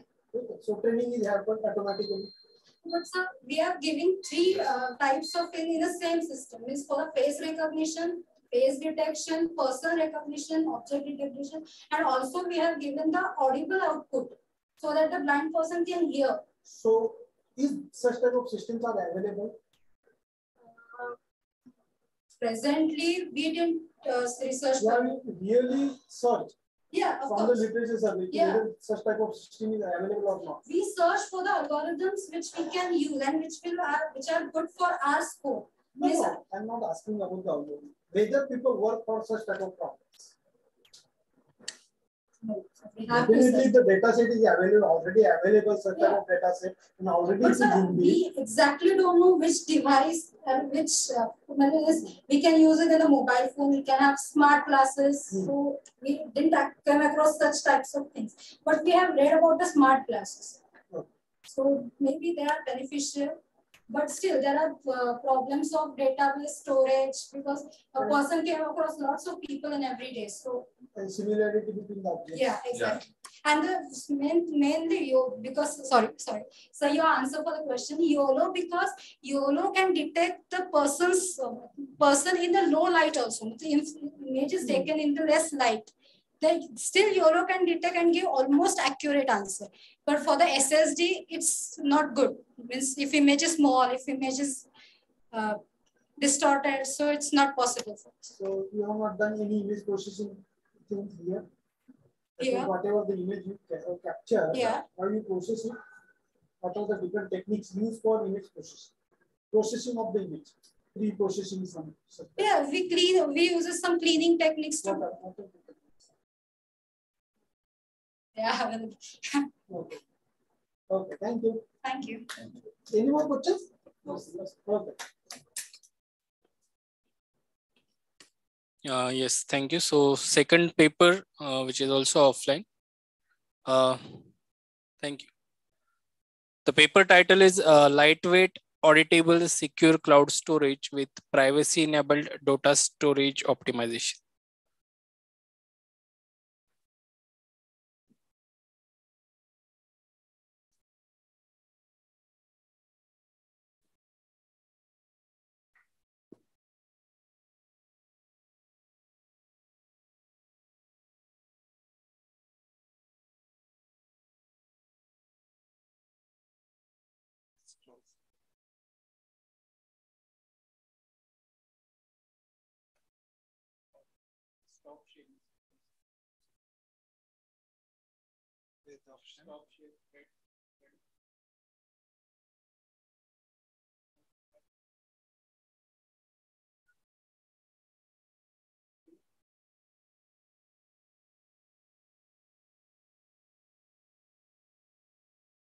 Is this okay, sir?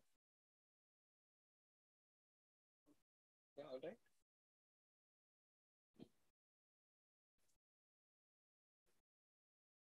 Online users cannot. Yeah. Could you please open that? This one? This one? Yeah, it's open, sir. Which one? This one? Yeah. Now it's okay. Sir.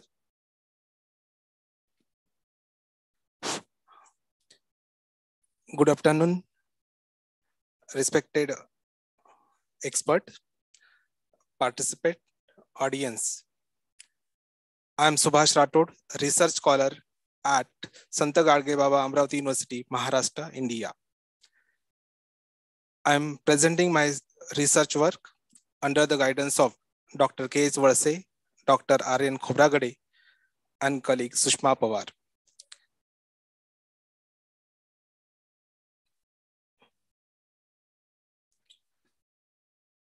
The title of my research, Lightweight Auditable Secure Cloud Storage with Privacy Enable Data Storage Optimization. This is my outline of my presentation. As every organization migrate into the cloud computing because of some advantages of cloud computing like storage cost, cost minimization, and on-demand sharing. As I said, every business is migrating. Ultimately, at there is certain challenges. Challenges are store hoarded and security, confidentiality, authentication, and privacy. So these challenges I have addressed in my research. This is a problem statement to achieve a cost efficient data storage while maintaining data privacy and security over public cloud. Objective of my research in very start, as I said, advancement is storage overhead reduction.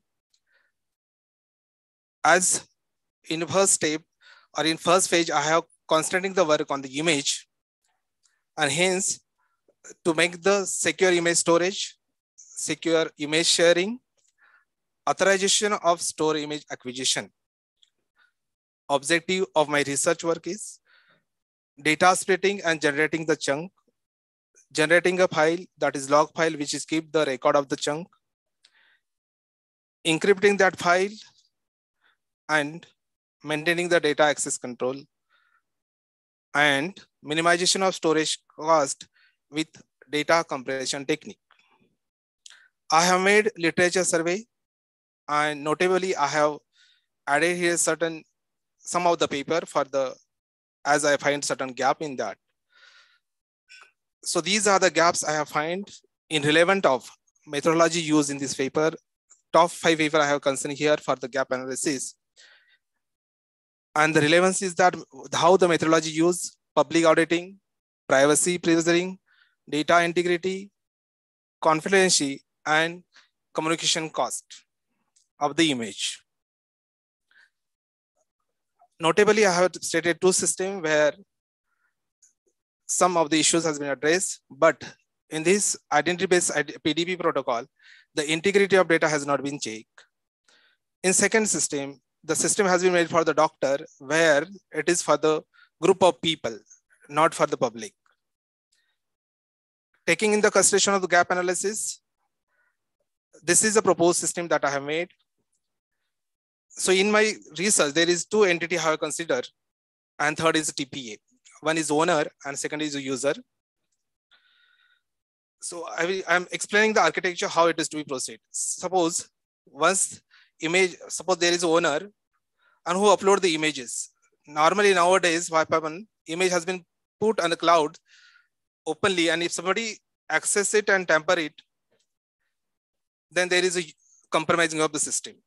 So what I have done here, I, before once the image has been uploaded or before image uploading, the image has been compressed. After compression, the image has been divided into different chunk. And the chunk is has been kept in the log file, which is put along with the original image on the cloud. On the user side, while do downloading, once the request has been received to the owner, the request will be approved by third party. Once it is approved and authenticated by authenticated user,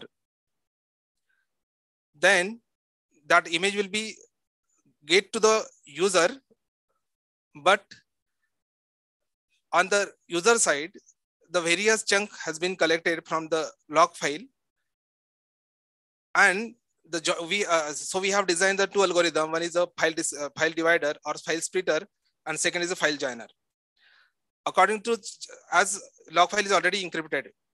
So file is decrypted from this user side and by using the joining algorithm file will be join and the original file will get it.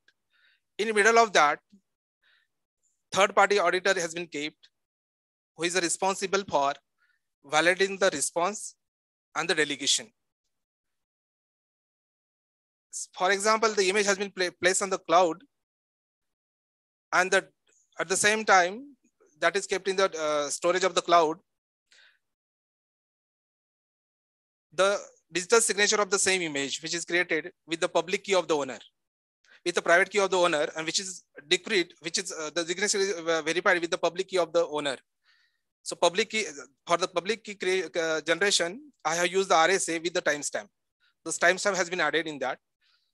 For the encryption of the data, I have used the AES as it is lightweight.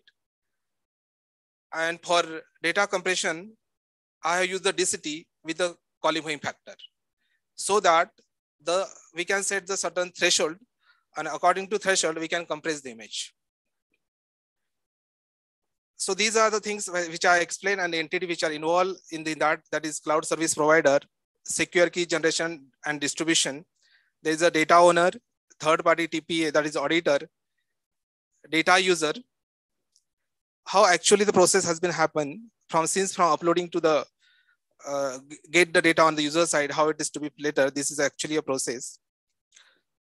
Like uh, image upload, converting color, color, image to the grayscale image, then dividing to into different pix, uh, right, chunk, then compression of the image, then contraction. On the on the other side, whatever the image has been compressed after compression of the image, the image divided into different chunk as it is equal size. It is a splitter algorithm. So if the image is 100 KB, then it is divided into equal, that is a, a 10 chunk. If suppose we can change the values also, but as a, as a thumb rule, we have said that key, if the image, that means whatever the block of the image, which can be divided into equal size. That is, that is the things only. And once it is divided, it is kept in the log file an ordering of the chunk which is which is placed across the different server in the cloud, right? While joining, it will be collected and it will be joined. So I use right data fragmentation for log encryption. That is, these are the algorithm that I use. From the download side, that is that I already explained. Data fragmentation on the reverse side, whatever the whatever the process I have done on the owner side, that will be reversible on the user side. Yes. So I have calculated uh, that is average uh, cost calculation of this particular image while uh, transferring the image or uh, right. It is, it is for the analysis purpose that I have made. Request, how much uh, time is required for the request, storage cost, that is parameter that I use for the calculating the average storage cost. As a part of presentation, the mathematical base of it, whatever the mathematics involved in that is a mathematical modeling I added in the presentation mathematical modeling has been done with the help of set theory and the state diagrams. This is actually the state of how it is to be proceed since from uploading to the downloading of the image. And these are the process has been happening. For the result analysis, I have considered the, for the analysis purpose, I have taken the image, different image size, how it is to be compressed with the density with the quality time factor and time required to compress it. Again, it is original size, how it is to be compressed with the lower density. Timestamp required for the image fragmentation.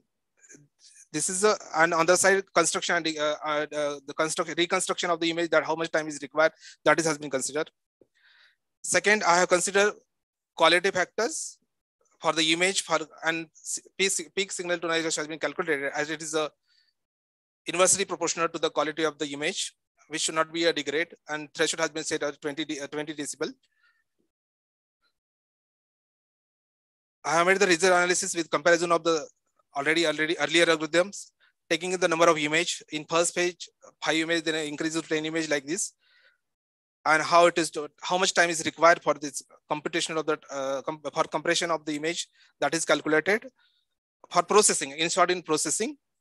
As a conclusion of my work, I here uh, want to conclude that key whatever the image which we're going to place on the cloud, it should be kept in secure ways. And I have contributed here, like I have designed two algorithms for splitting and the joining. We earlier density is there, density which you use with the quality factors, that is frequency values. Also, uh, we have used RSA with the time stamping.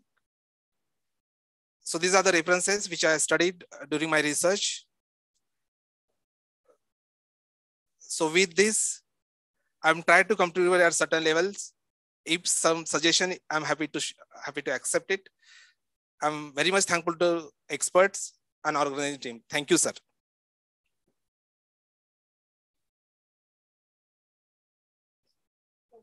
First thing, when you compress it, is some data is missing? Okay. And after compression, you divide it. Yes, sir. Then encrypted and all those things. So while decompression, yes. So because you are applying encryption and all those things. Okay. So what about the missing data?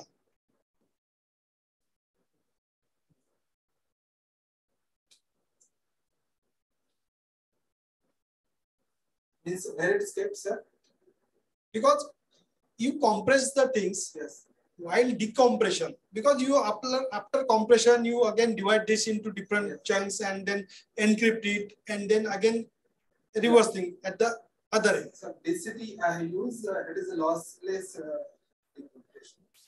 But when some bits size is reduced, that is something. Sure, something so how you can handle this problem? Not address, but uh, I have to be that. Then uh, one more thing uh, I observe, uh, you have used fragmentation. Yes. When we store the data in fragmentation, yes. after during defragmentation, yes. the sequence is changed. What is the mechanism you have used I so that you can get the correct sequence of data? Of course. Yeah. So when uh, fragmentation chunk has been divided, so each chunk have the ID. Each chunk have the ID. Okay. Assign automatically. Hmm. Without ID, it can be considered ah, okay. rejected. Hmm. Sure. So it's that is when this happened before storing on the cloud. Yes. So while storing, if some chunk yes. is missing, I will not be getting it. It's already it is rejected, sir. You will not get it on the reverse side. How?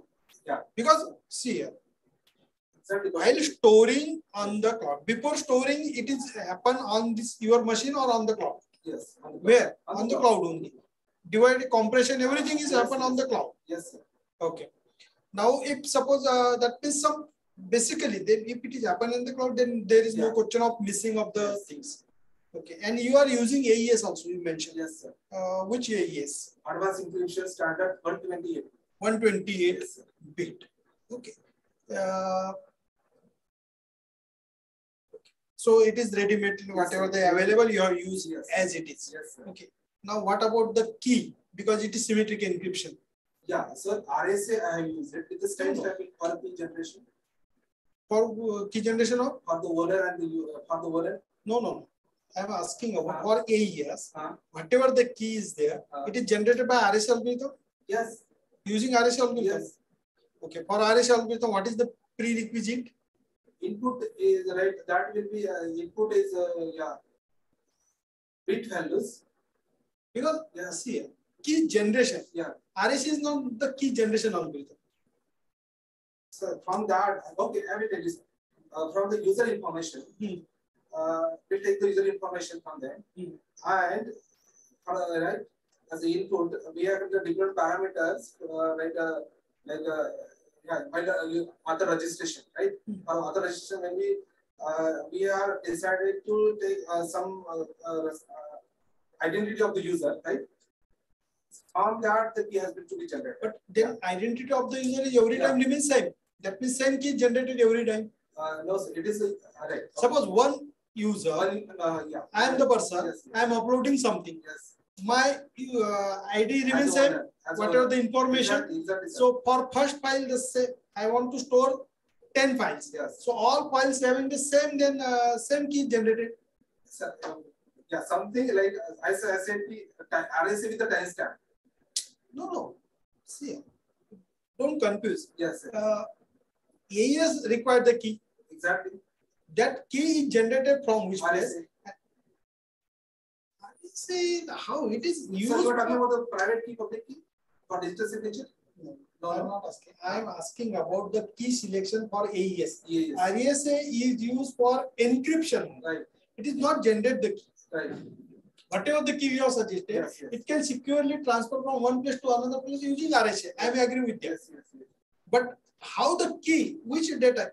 RSA is for encryption of some data. Some data, Some data means here key. Key, exactly. That key is generated from where? From where? For RSA. For AES. ease. AES. Oh, user information, sir. From user But information. then it remains same because user information is always same. Yes. It is same. sir. Your thought. Yeah, it is is same, sir. It It's should same. not be same then. Then if it is remain same, Right. then uh, Security if- compromises? uh, of course, because if it remains same, once someone get your key, he whatever the files you have stored, hundred of files, automatically there is no security then. Once sometimes the key is secure.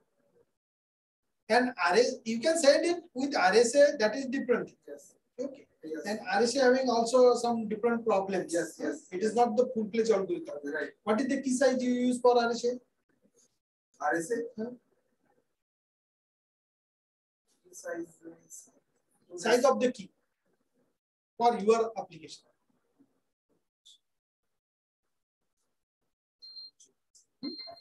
Because 1024 is not secure for us. Yeah, exactly. One zero two four. Is not secure. You can select any number of uh, any size for RSA. So you have to do these things. Uh, then you mentioned about uh, hashing. Uh, that is uh, digital signature. Digital signature. And in digital signature, for what purpose you have, how you can compute the digital signature? How it is converted as a signature? na? Yeah. A particular user information. You also use the ready-made Yeah. algorithm for this Yes. Which- With the signature. digital Yes. signature. ah, right. Okay. So on which information that User information. sir. Hmm? Digital signature. User information. Uh, DS, like, let's see, right? How it is to be like user info, right? On the right, user signature infinity. Uh, yes, sir. then there is message digest. Right. MD5. MD5 or Yeah. That is not. You have to compute the hash value uh, in digital signature. Do you aware about the practical approach anytime you use this digital signature of your friends or somewhere? But, uh, use uh, I, I use it for patent filing for patent filing. I used it. I created it. I use it simple. How how you can compute the digital signature? Uh, from uh, so the digital signature I computed from the Aadhaar user information. Not this data. Suppose I want to compute this complete file. We have to consider for hashing. Exactly. So that's why yes, whatever your data, not your personal data, I'm not asking.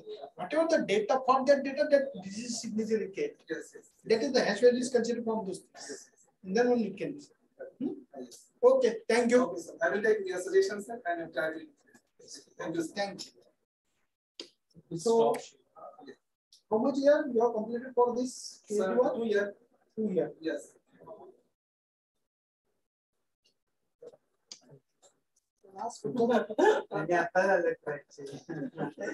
Uh, okay, we will go for the next paper uh, presentation. Uh, the paper title is uh, Deep Fake Video Detection Using Neural Networks.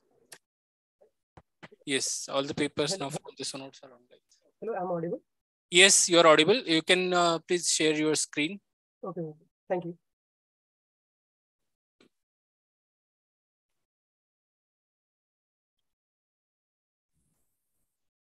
Is my screen is zero? It in the presentation mode. It is visible. Yeah. Yes, please start. Continue. So good afternoon, uh, good afternoon, everyone. I am Amana Sati. First of all, I want to thank uh, IEEE committee for giving us the chance to present our research paper. And so uh, the topic of our research uh, is uh, deepfake video detection using neural networks. And uh, this paper is presented by Aman Mayur Salesh Lalit and uh, from uh, uh, Department of Computer Technology, Yashwantrao Chavan College of Engineering, Nagpur. So this is a table of content for the presentation. The problem statement is uh, to design and develop a, a deep learning algorithm to classify the video as deep fake or pristine.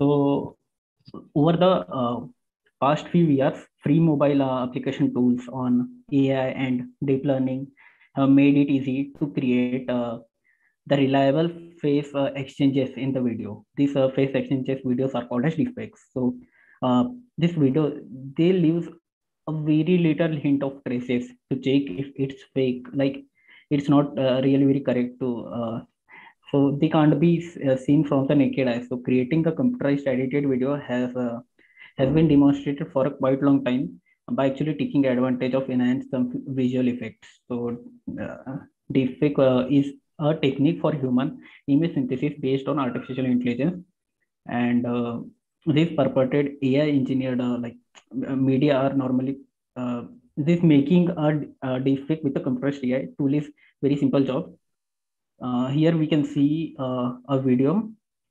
Uh, in the left side, it is original. And right one is the deepfake of the original video.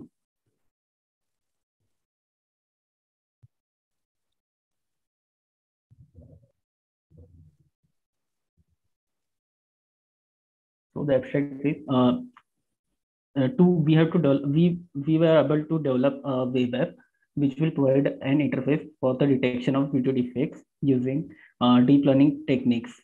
So the intent use of this application to detect the fake videos. So these synthetic and manipulated images uh, can be used for some malicious and such purposes that can prove to be harmful for the society as it may violate security systems, privacy, and social trust.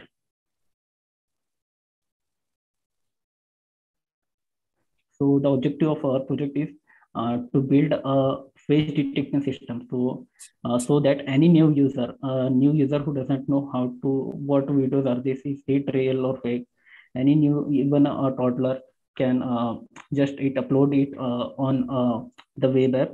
So the system uh, will be like to we have to upload we have to upload an input and it will show the percentage accuracy of the input to be if it's a deepfake and have developed uh, this web app using Django uh, on which the robust machine learning model will be deployed to Django.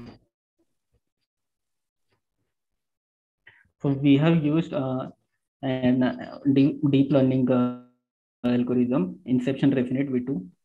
So Inception ResNet V2 is uh, actually based on a CNN, which is uh, trained on more than some million of images from the yeah, ImageNet database.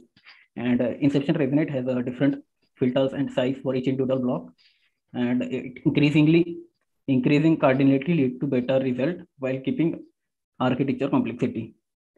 And Inception ResNet uh, network, uh, here we had used it for the feature extraction uh, in contrast with different algorithm. As uh, CNN joins the qualities of the Inception and uh, models, where the Inception model integrates uh, equal componently and uh, extraction into its this deep engineering.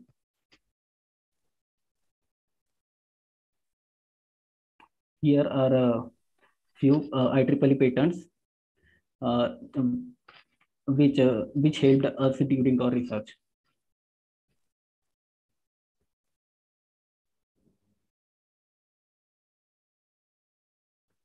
So data gathering is the most crucial and important part of any machine learning model. So we have gathered data from these trusted sources. Uh, like there were some online deepfake detection challenges were going on, and uh, those were held on Kaggle. So uh, the total data set consists of real and fake manipulated some 6,000 videos. There were directory for the fake and real, but all of them were not uh, really good for our model. So we had to a lot of uh, like uh, we had to see if they are good for a model or not.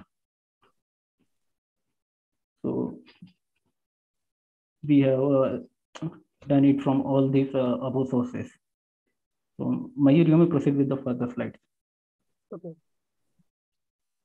So, uh, good afternoon, everyone. Uh, in the data exploration section, uh, we have performed EDA, uh, which is exploratory data analysis on the training and testing data after that, uh, we are checking the files type, uh, which are focusing on the metadata files, uh, where we have kept uh, this, the JSONs of a video, which have the metadata.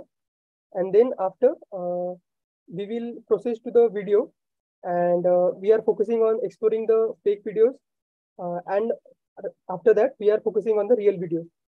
To extract the face from the videos, we have used we have used OpenCV module so this uh, this covers covers us the data exploration part. So uh, why we choose Inception ResNet V2 model? Uh, so uh, from all the mentioned algorithm, uh, Inception ResNet V2 has a top one and top five accuracy greater than the rest, as you can see in the image, and also the topological depth of 572, uh, which helps the algorithm to get higher accuracy. So this is the prediction workflow. Uh, in prediction workflow, uh, user will upload a video which will goes to the pre-processing unit and then train model will process the video on the learning parameter such as uh, uh learning rate and uh, etc. And the output will be based on the that learning parameter. So Inception ResNet is a so Inception ResNet is a convolutional neural network uh, that is trained on more than 1 million image from ImageNet dataset. The network is uh, 164 layers deep and classify images in 100 objects.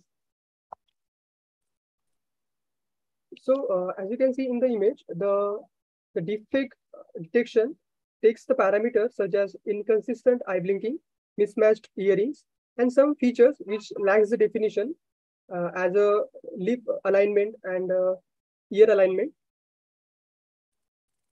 So uh, in the pre-processing part, the videos are pre-processed and all the unrequired noises such as noise and any any frame which is not covered by face is removed and video is only required portion of that video is uh, detected and cropped.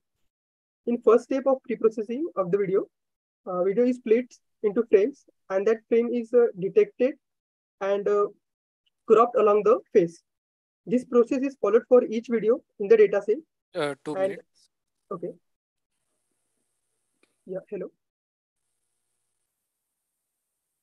Hello, should, I, should I continue? Yes, yes, continue, but last two minutes. Okay, okay, okay. Yes. So this is the pre-processing part where we are saving the cropped images. Yeah. So these are some uh, accuracies that we have got uh, in our in the different data sets, uh, which is around uh, 85 to 90 percent, uh, which uh, comes out to be a great accuracy for any algorithm.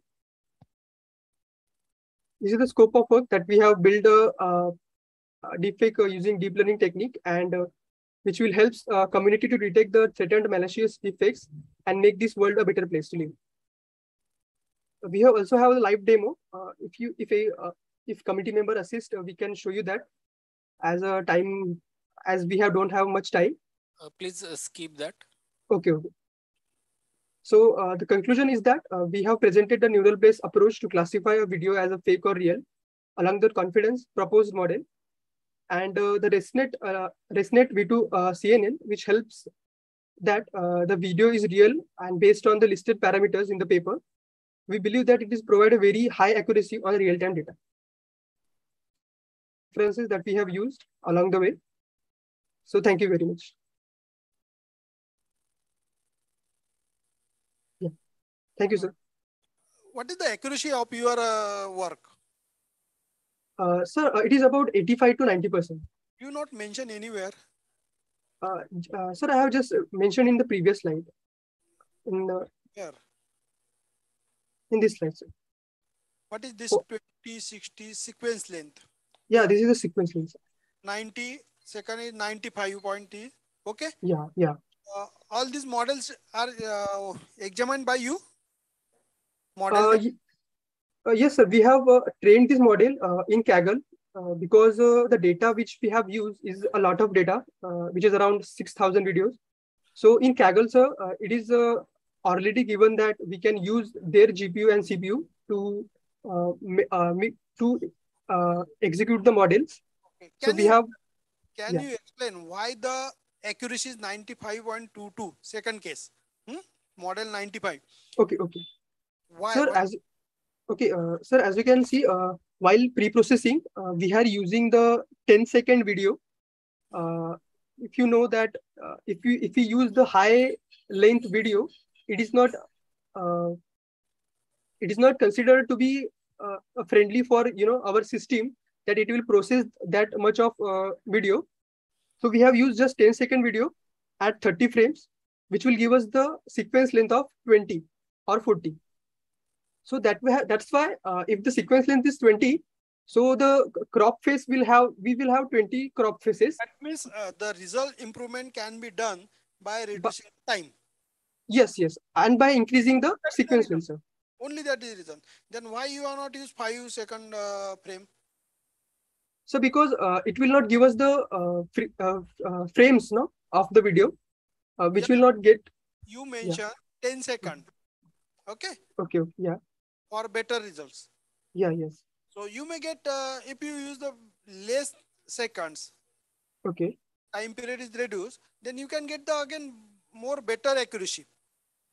So, yeah. Uh, actually, we are uh, using more sequence length. Like the more number of images will be there in the input side, then the model will get more images to be, uh, to train on it. Like uh, then it will it will be more accurate. In your so the, architecture, you mention only the training page, no testing page. You mentioned there. Whatever the results detection that is fake or real you mention only the training from the training result. Yeah. So I uh, surprised. What is your basic contribution? Because your data set is already available. You have taken the actual data set available. We have done yeah. uh, some pre-processing also there, like uh, all of like all of it were not uh, some some of them missing and some were corrupted. What is the lots of videos? How you can know that the image is corrupted or not? no that video is cause that video was not playing uh, video, how it is not playing well. That means it is corrupted. This is your logic? Yeah i try to understand your logic. Okay. yeah. Hmm? yeah yeah. So, sir I, I i don't get your questions. Can you repeat sir? So what is the pre-processing steps you have done Hello. Okay. okay. Am I audible? Yeah, yeah, you're audible. What are the pre-processing step? You mentioned pre-processing of the videos. Yeah, what yeah. exactly pre-processing means? So pre-processing means uh, we have a video uh, which will uh, have you know the person face. So to detect that face, sir, uh, in pre- pre-processing part, we have used OpenCV library in Python for detecting that uh, detecting the face and cropping that face uh, using TensorFlow library, which is also in the uh, Python uh, packages. And from that, we have uh, you know gathering the data in frames and storing it uh, in the array as you know as the image is uh, in the form of array so we are storing it in the form of array in the What database is, what is the size of the array? uh, so the size of image is 128 by 128 In the array. yeah yeah Okay. Okay. Uh, have you compared your work with the existing work? uh, sir actually we haven't compared it right now but we have checked the other algorithm performance uh, but we haven't uh, you know included included the other algorithms uh, in our approach Okay. Thank you. okay Any questions from audience? Okay. Thank you. okay okay sir Thank you, thank sir. you thank you for your time Thank you. You can uh, stop sharing your screen. Okay okay Uh, before proceeding for the next presentation, I request all the authors, if possible, please uh, turn on your camera while presentation. Uh, we will go for the next presentation. Uh, the paper title is Integrating Comparison of Malware Detection Classification using LGBM and XGB Machine Learning Algorithm. Oh, yes, sir. Give me a second. I'll just share my screen. Yes, please share.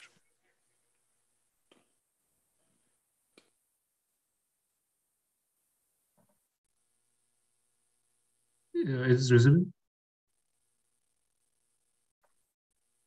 Hello? Yes, visible, visible. Uh, just give me a second. Um,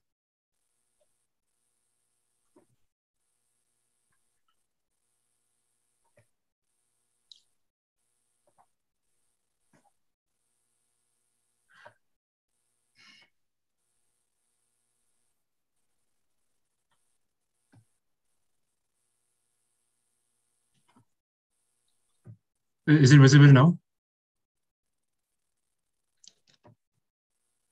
Uh, please share your screen.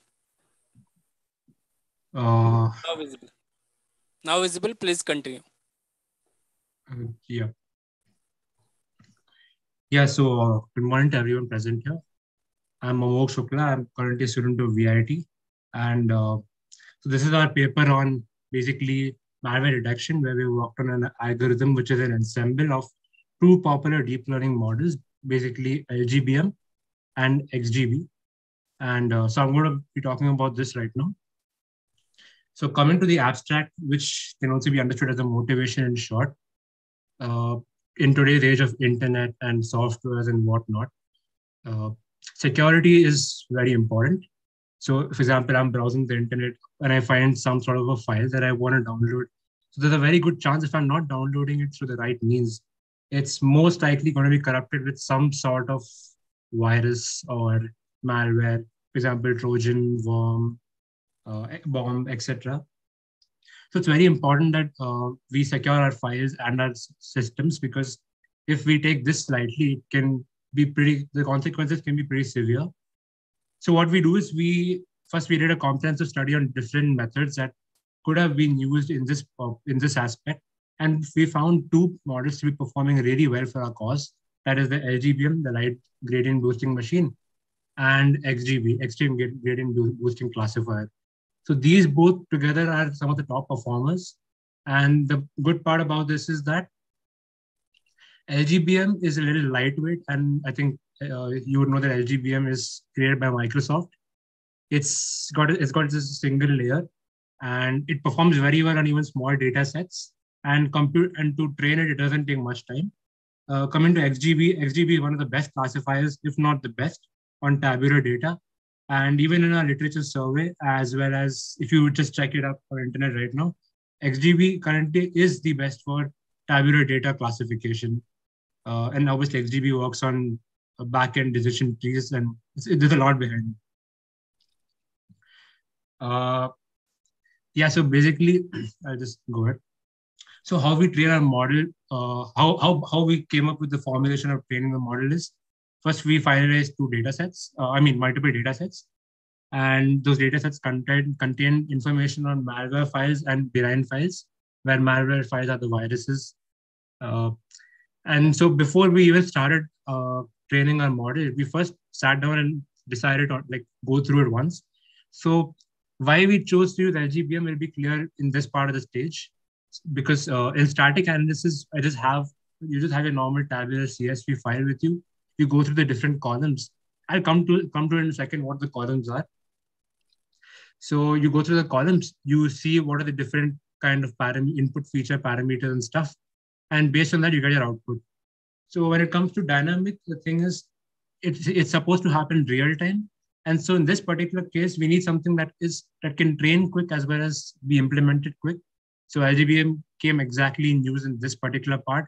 With the moment I feed in a new feature, I can get a response in about 0.2 seconds, which is is slow compared to what real it should be. But in terms of research, it it um it gave us a new direction. And also, I'm operating on a computer which doesn't have much GPU and CPU anyway. So once we got our data set and we have done the cleaning and stuff, we then move to the uh, feature engineering. So we do feature engineering, isolation. So we then we do, we basically did a correlation heat map between the classes, which is benign and malware, and the different columns. And we saw that for different kind of uh, permissions and stuff, what, what, what, what, what is, what's more likely to be benign, which asks a particular permission. For example, some of them, when you download it, you would see that they ask for permission to your camera, your phone, and they would ask permission to basically work over other apps if you would see. And those are just one of the 183 columns that are there. Uh, I'll talk about other columns as well. So then based on this data, which also has a label given subsequently to it, and also all the text in this, which was there as a feature, has been embedded using standard embedding techniques. We train our malware classifier.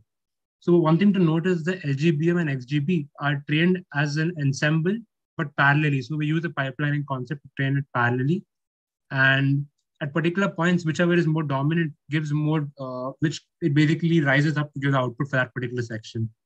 And then, yeah, then we test it on whatever we have a train test split, we, we test, test it on that. I'll come to the accuracy later.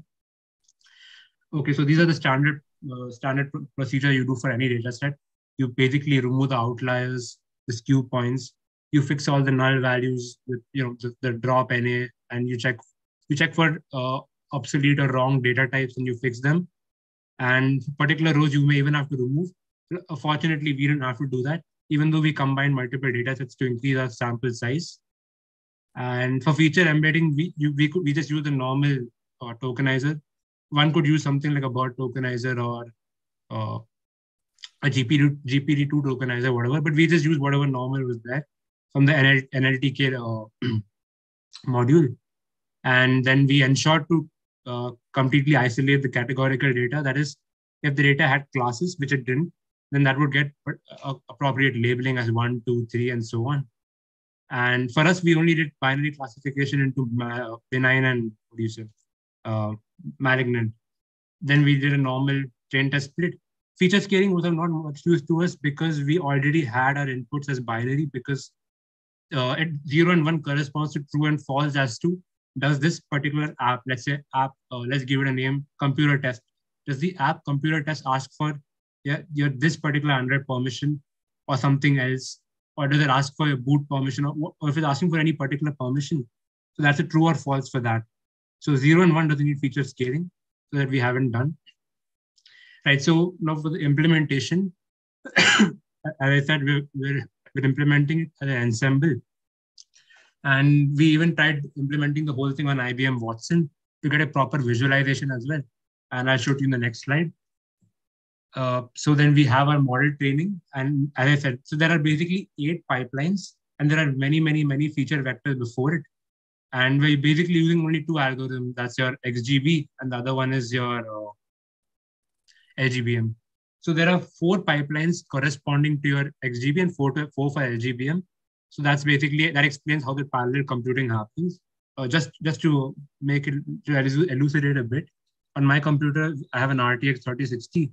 Uh, so that's what I use. I basically uh, made, ran it on CUDA, and so so if you benchmarking the computation time wasn't really possible because uh, it depends from testing to testing. If someone's using a supercomputer, then you can't benchmark that against an, a, a laptop's 3060.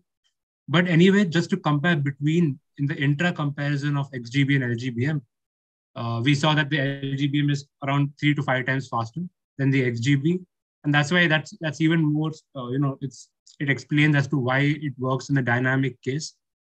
And even on smaller data sets, LGBM works well. I think in the first slide I mentioned there are about 1,200 entries only, even after aggregating multiple sources of data. Uh, that's mainly because we have huge number of columns and corresponding to that many number of columns, we don't have enough row entries. So that's why LGBM would work better in this case, even though standardly you can expect an XGB to always outperform any other model. Yeah, motivation basically uh, I explained in the first slide. So yeah, coming to the loss, uh, when while while training while uh, creating the model structure, generally what I've what, from what we found from our uh, survey is that most models use binary uh, cross entropy loss that kind of function, but we found log loss function to be to give us slightly more significant results in our case.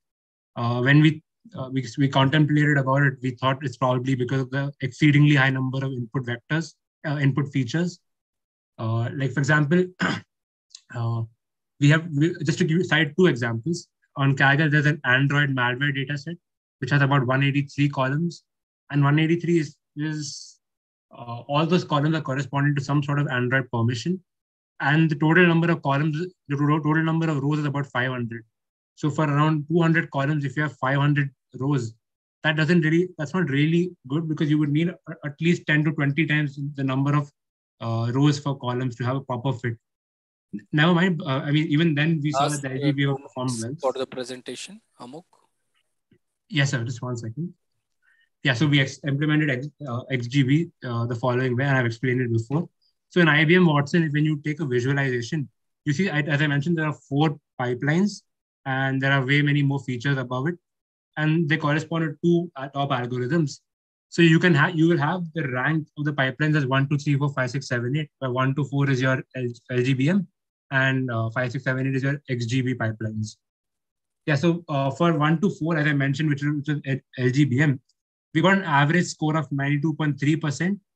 Uh, this is again, one thing should be noted is that we, even after combining much data, we had way less data uh, as compared to the number of input feature vectors. So for, for something like that, the LGBM performed very well. And the training time, which isn't mentioned here, is something on the scale of about five times faster than your XGB. And also on this particular use case, it's performed, its accuracy even su surpassed XGB just by a little bit. And that's only to blame on the size of the data set that we had. Uh, coming to XGB, so we isolated XGB on uh, 7 to 6, uh, 7 to 8, and 5 and 6. And we found that the 7 to 8 has around 91.6, and the accuracy on the 5 and 6 is around 92%. When you combine the whole model as a whole, it kind of works as an ensemble uh, you can say aggregation. And we're expecting when we get an accuracy of anything around 92 to 94, that kind of a thing. After we add some noise to the data and check. Uh, and I think it's for particular use case what matters and the train test size and stuff. But we get around 93 on a good uh, on a good run basically.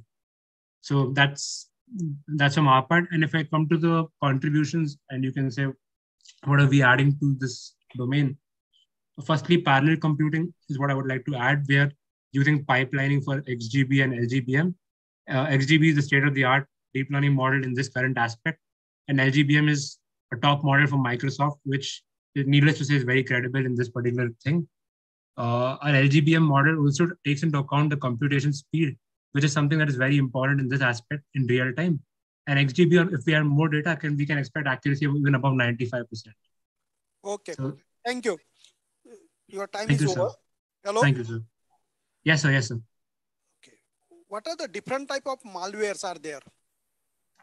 So we have Trojan horses, worms, bombs, then ransomware, uh, spyware. So these, these are different kind of uh, malware that we get usually. In your data set, how many number of labels are there? It is label data? Uh, yes, so, so one data set is labeled and it has eight classes. Uh, unfortunately, the data set doesn't mention what are what is the virus, but it already has a class label to it, like one, two, three, four, five, six, seven. And where the virus is exactly located in a packet?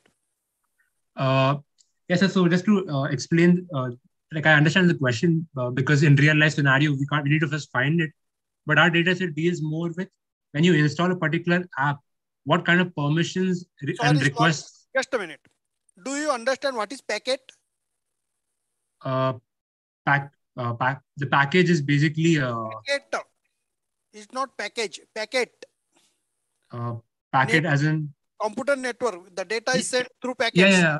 understood, understood. Okay. Yeah. In the yeah. packets, there are different fields. Yes, sir. So where exactly the malware is located? Uh, sir, I think the ma- the malware will be located in the within, within the data part of it, the data bits, most likely. In the Da- in the data bits, like you'll have network bits and the data bits. So I think within the data bits, in the packet data bits like is a some field is there? Do you learn about the packets? uh, yes, sir, I've learned about packets in computer networks. Ah, then, Uh, then in there is data bits like uh, field is there. Uh, sir, I, I remember that when we have like class class A, class B, then there are some network bits, and then there are uh, there is uh, there are there are bits corresponding to what is being sent, the data part of it. What are the different fields of the packets? You know. Uh, one is the here, see here, all this problem, your problem statements is related to packets. sir. Actually, our problem statement is uh, we're only considering apps while being installed right now, like over the internet. So this is particular to that. But But when I'm, you I'm also So when you are talking about malware, you just know what where exactly malware is come from and how. Uh, yes, sir, I agree. It's it's important to know where it's coming from and where it's hidden. But we're tackling this issue during run- implementation time. It, it may be difficult for us to know exactly where it's located, but when the when something is being installed in your system at one particular time, it's going to ask you different permissions and access to this and that. During that time, we will classify it as suspicious or not suspicious. That is So- what we're aiming for. So my question is, there are antivirus softwares are there. Yes, sir. So have you compare your detection rate with the antivirus software? Any antivirus software? uh, so in our study, we in our literature survey, we haven't taken any uh, particular company's model. However, we have considered other implementations that have been done on similar data sets. we're not taking Kaspersky or not in that kind. We're not in that kind of a thing, because even if we do take that, if our data doesn't match, then the comparison would be uh, it would not really make much sense because benchmarking is done on similar data. So So while doing the malware, do you- what is the accuracy of the people have? State of art uh, literature survey. What is the accuracy? So it's, it's about 90, it's about 92 or 92, 93 percent. I'm not asking about the accuracy of your work. I'm asking the accuracy of the current researchers. Uh, They're having 98% accuracy also, 98, 99 like that way. Already, yes, ex- sir. already exist. Then what is your contribution? So yeah, so the second part of our contribution is how uh, how we how we are able to uh, train our model on even much lesser data. Because as you said, the state of the art models definitely they're like really good and they have 98% accuracy. But again, those companies have access to tons of data, and we have basically used a much smaller data set with huge number of input features. How many features are there in your data set? Yes, sir. So uh, in one in one data set which we have added, we have concatenated many, but one has around 183 features, the Android data set. So all features are important or some features are not important out of Uh, one. some some features have a very low correlation with the class label, so, So- some are not important. So have you used any feature selection mechanism? So I I created a, a custom use algorithm which basically it would uh, take the correlation of each each and every column with the output, and if the corresponding score is significant enough, like let's say that's a correlation of 0.5 or greater, only then it's being selected in the model training. Okay, thank you. Thank you All so much, sir. Thank you so much.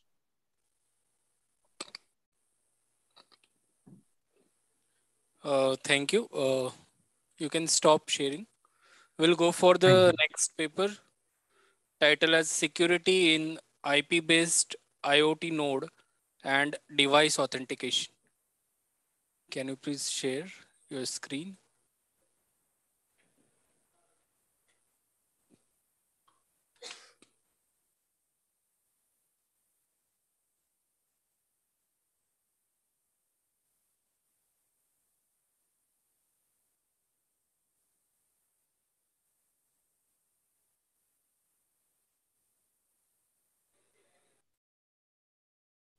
Ma'am, please uh, share your screen and unmute.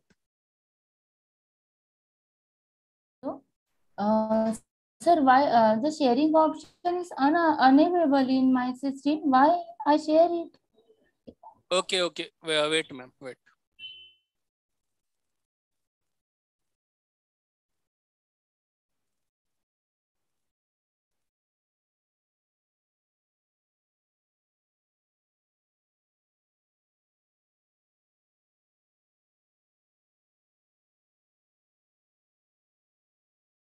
Take, ma'am. You will have share screen option at the bottom, green button. Share screen button. Yes, yes, but the option is unable, un, un, uh, un, sir, un, unable is uh, not unable. No, ma'am, actually it is there. Uh, you have shared your, I think, camera. Just uh, stop sharing and again share it.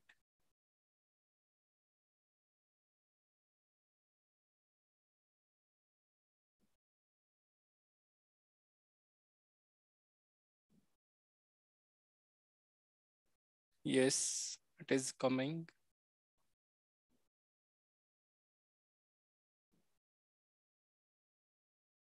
Minimize this, ma'am. And open your PPTs.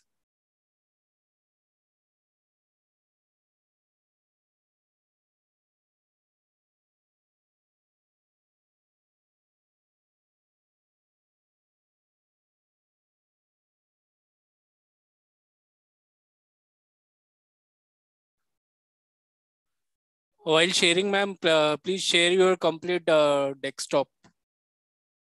Not just any one screen, any one window.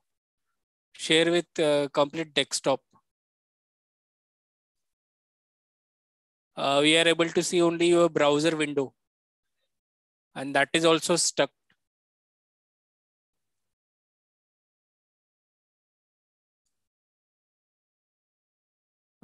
You please try again by stop sharing. Click on stop sharing and share it again, ma'am.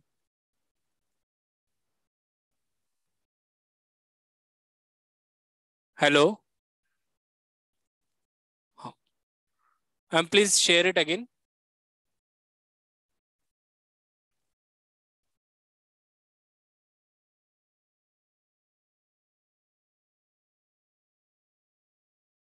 Yes, ma'am. Unmute yourself and uh, continue, ma'am. Ma'am, unmute yourself.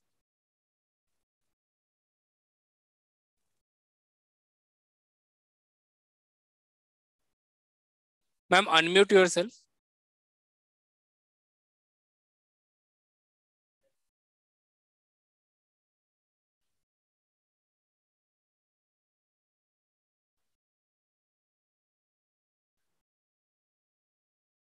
Ma'am, you are not audible. Please unmute yourself.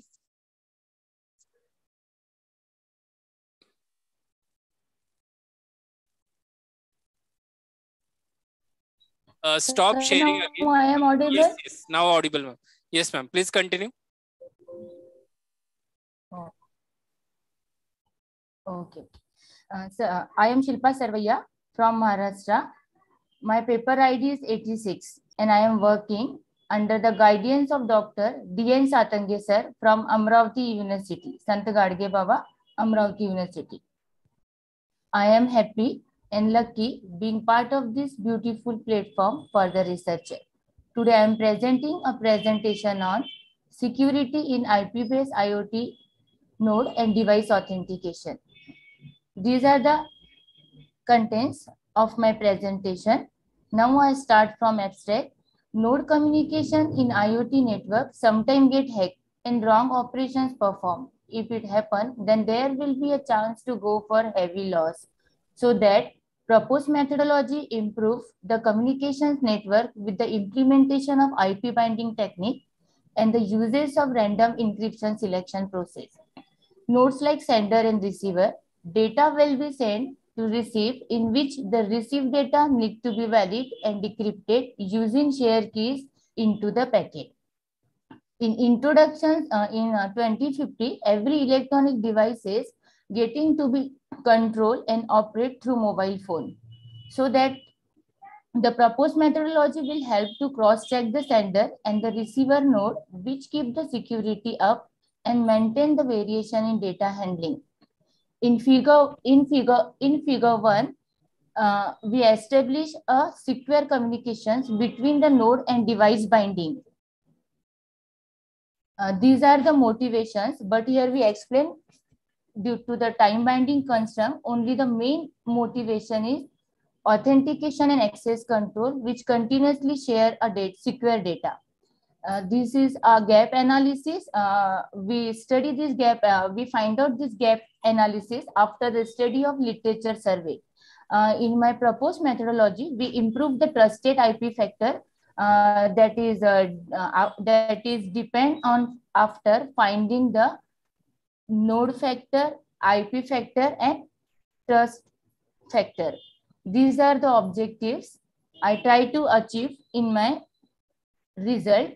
The main objective is to implement the various encryption technique over signal data transmission and to develop the secure sender and receiver verification technique.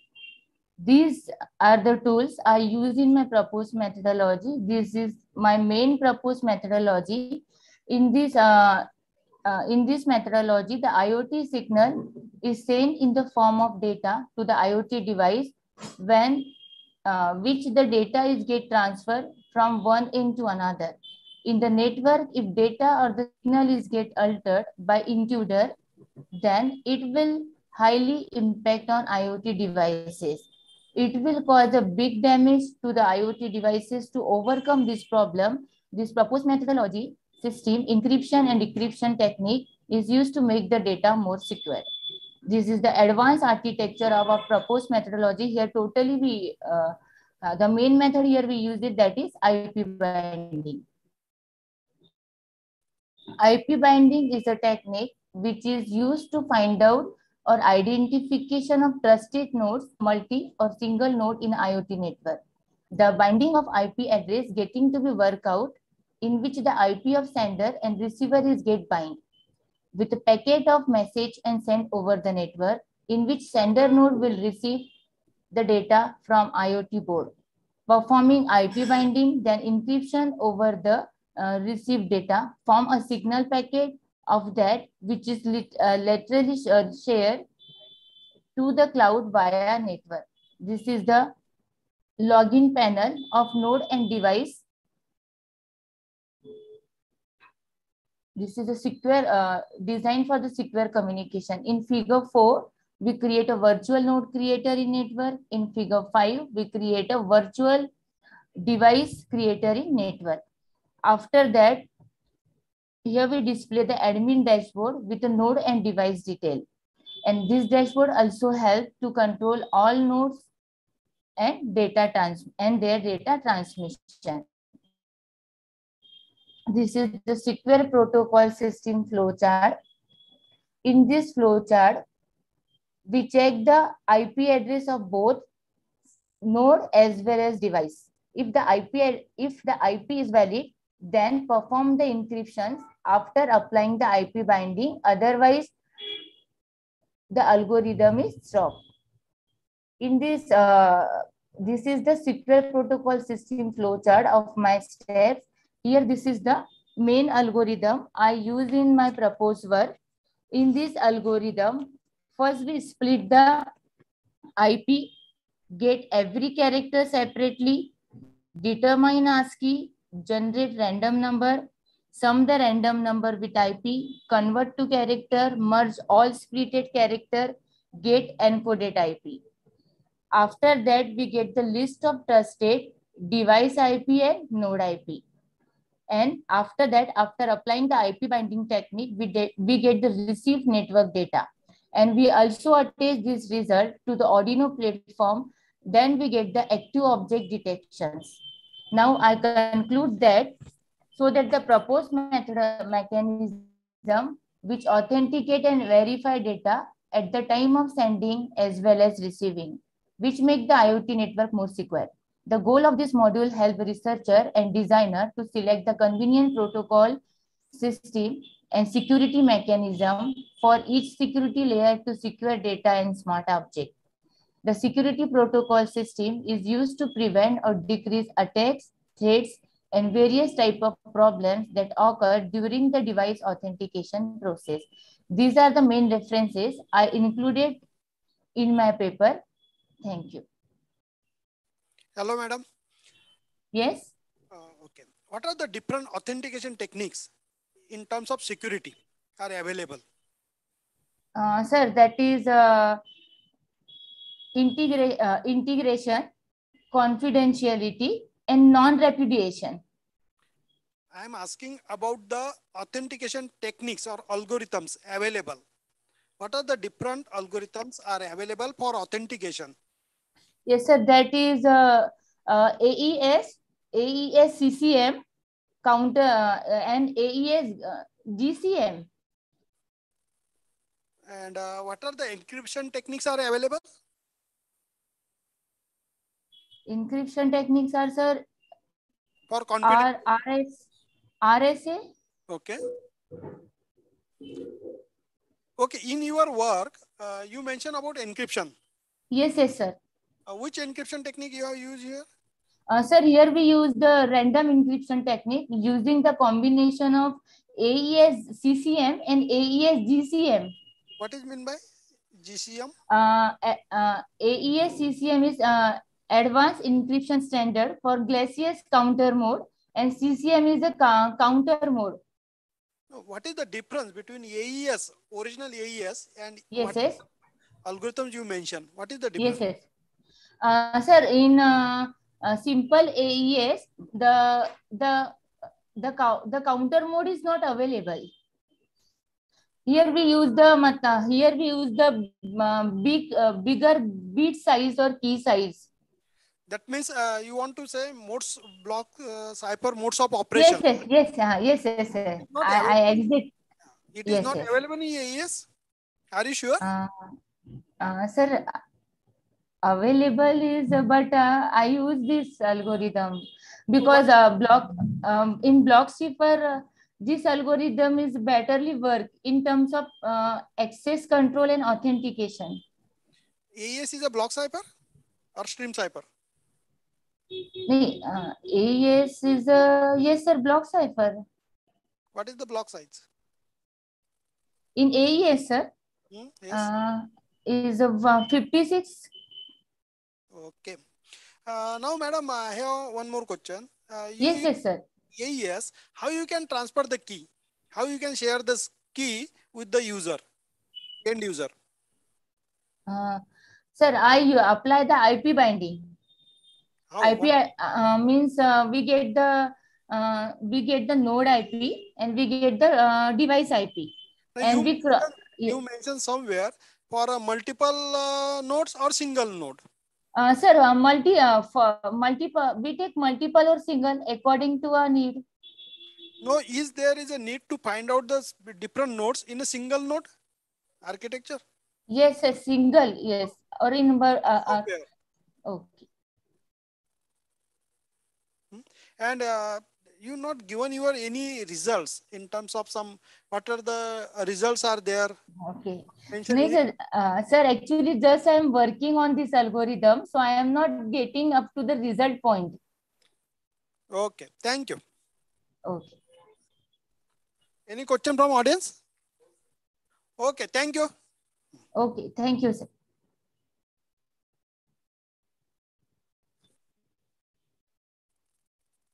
Ma'am, please uh, stop sharing your screen.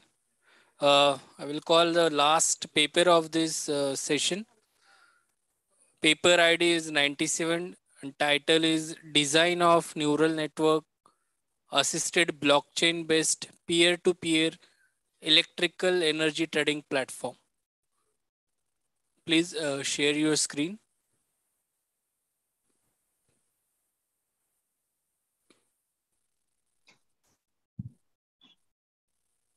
Um, just a second.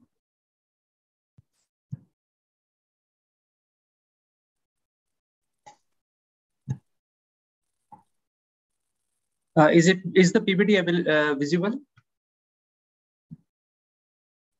Make it in a presentation mode. Okay.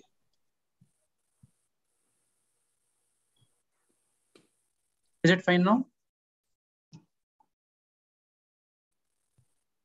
Yes, please continue. Okay, a very good afternoon to all the uh, the session chair and all the uh, participants.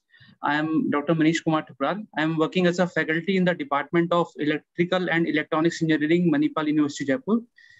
And uh, today I am here to present a paper whose title is Design of Neural Network Assisted Blockchain-Based Peer-to-Peer Electrical Energy Trading Platform. Okay. I'm not able to change my slide actually.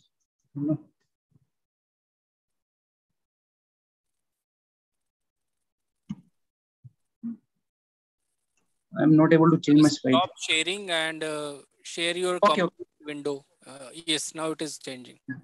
Okay, so uh, before I begin with the work, a little bit background of blockchain technology. So uh, the name blockchain technology is because uh, here what we do, we store uh, the data, which we call it as transactions in blockchain uh, in the form of uh, cryptographic value in the block. And each blocks are chained together with the help of hash pointers.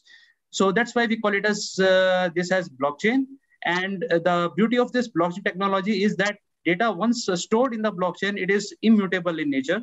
So in, in that way, it is very much secure technology to store a data. Uh, so so this is what this uh, slide says, uh, whatever I have spoken just now, where you see that block 13 is is connected to block 14 through a hash pointer and we have different transactions stored in each blocks.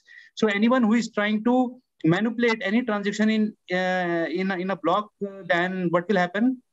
The block hash uh, will change and uh, and it will be it will be changing the block hash of each and every block. So uh, you require a very intense computation power to find a valid valid block hash uh, so as to manipulate any data in the blockchain. So that is why it is a secure uh, data uh, uh, storage technology and uh, uh, hence immutable. So the same thing out here. So now uh, when this block tech, blockchain technology was introduced, the, the prime use case that was introduced was Bitcoin. But the blockchain technology application became prevalent or we can say generalized after the introduction of smart contracts. So smart contracts is, is nothing but we basically uh, code the contract. It is a digital contract or we put the contract between the two person in the form of coding. And this contract is saved in the blockchain in the form of transaction. So once this uh, uh contract is saved in the blockchain, the contract can not be changed. And this uh, contracts we call as smart contracts, and they uh, are uh, executed once uh, the conditions required for the, are met. Now, my work. So here what I have done is, I have applied the technique of blockchain technology in peer-to-peer -peer energy trading. Now, uh, in today's scenario, the uh, energy trading that we do is with uh, a central uh, distribution authority. Like if I am a consumer, I can buy electricity from a central distribution authority.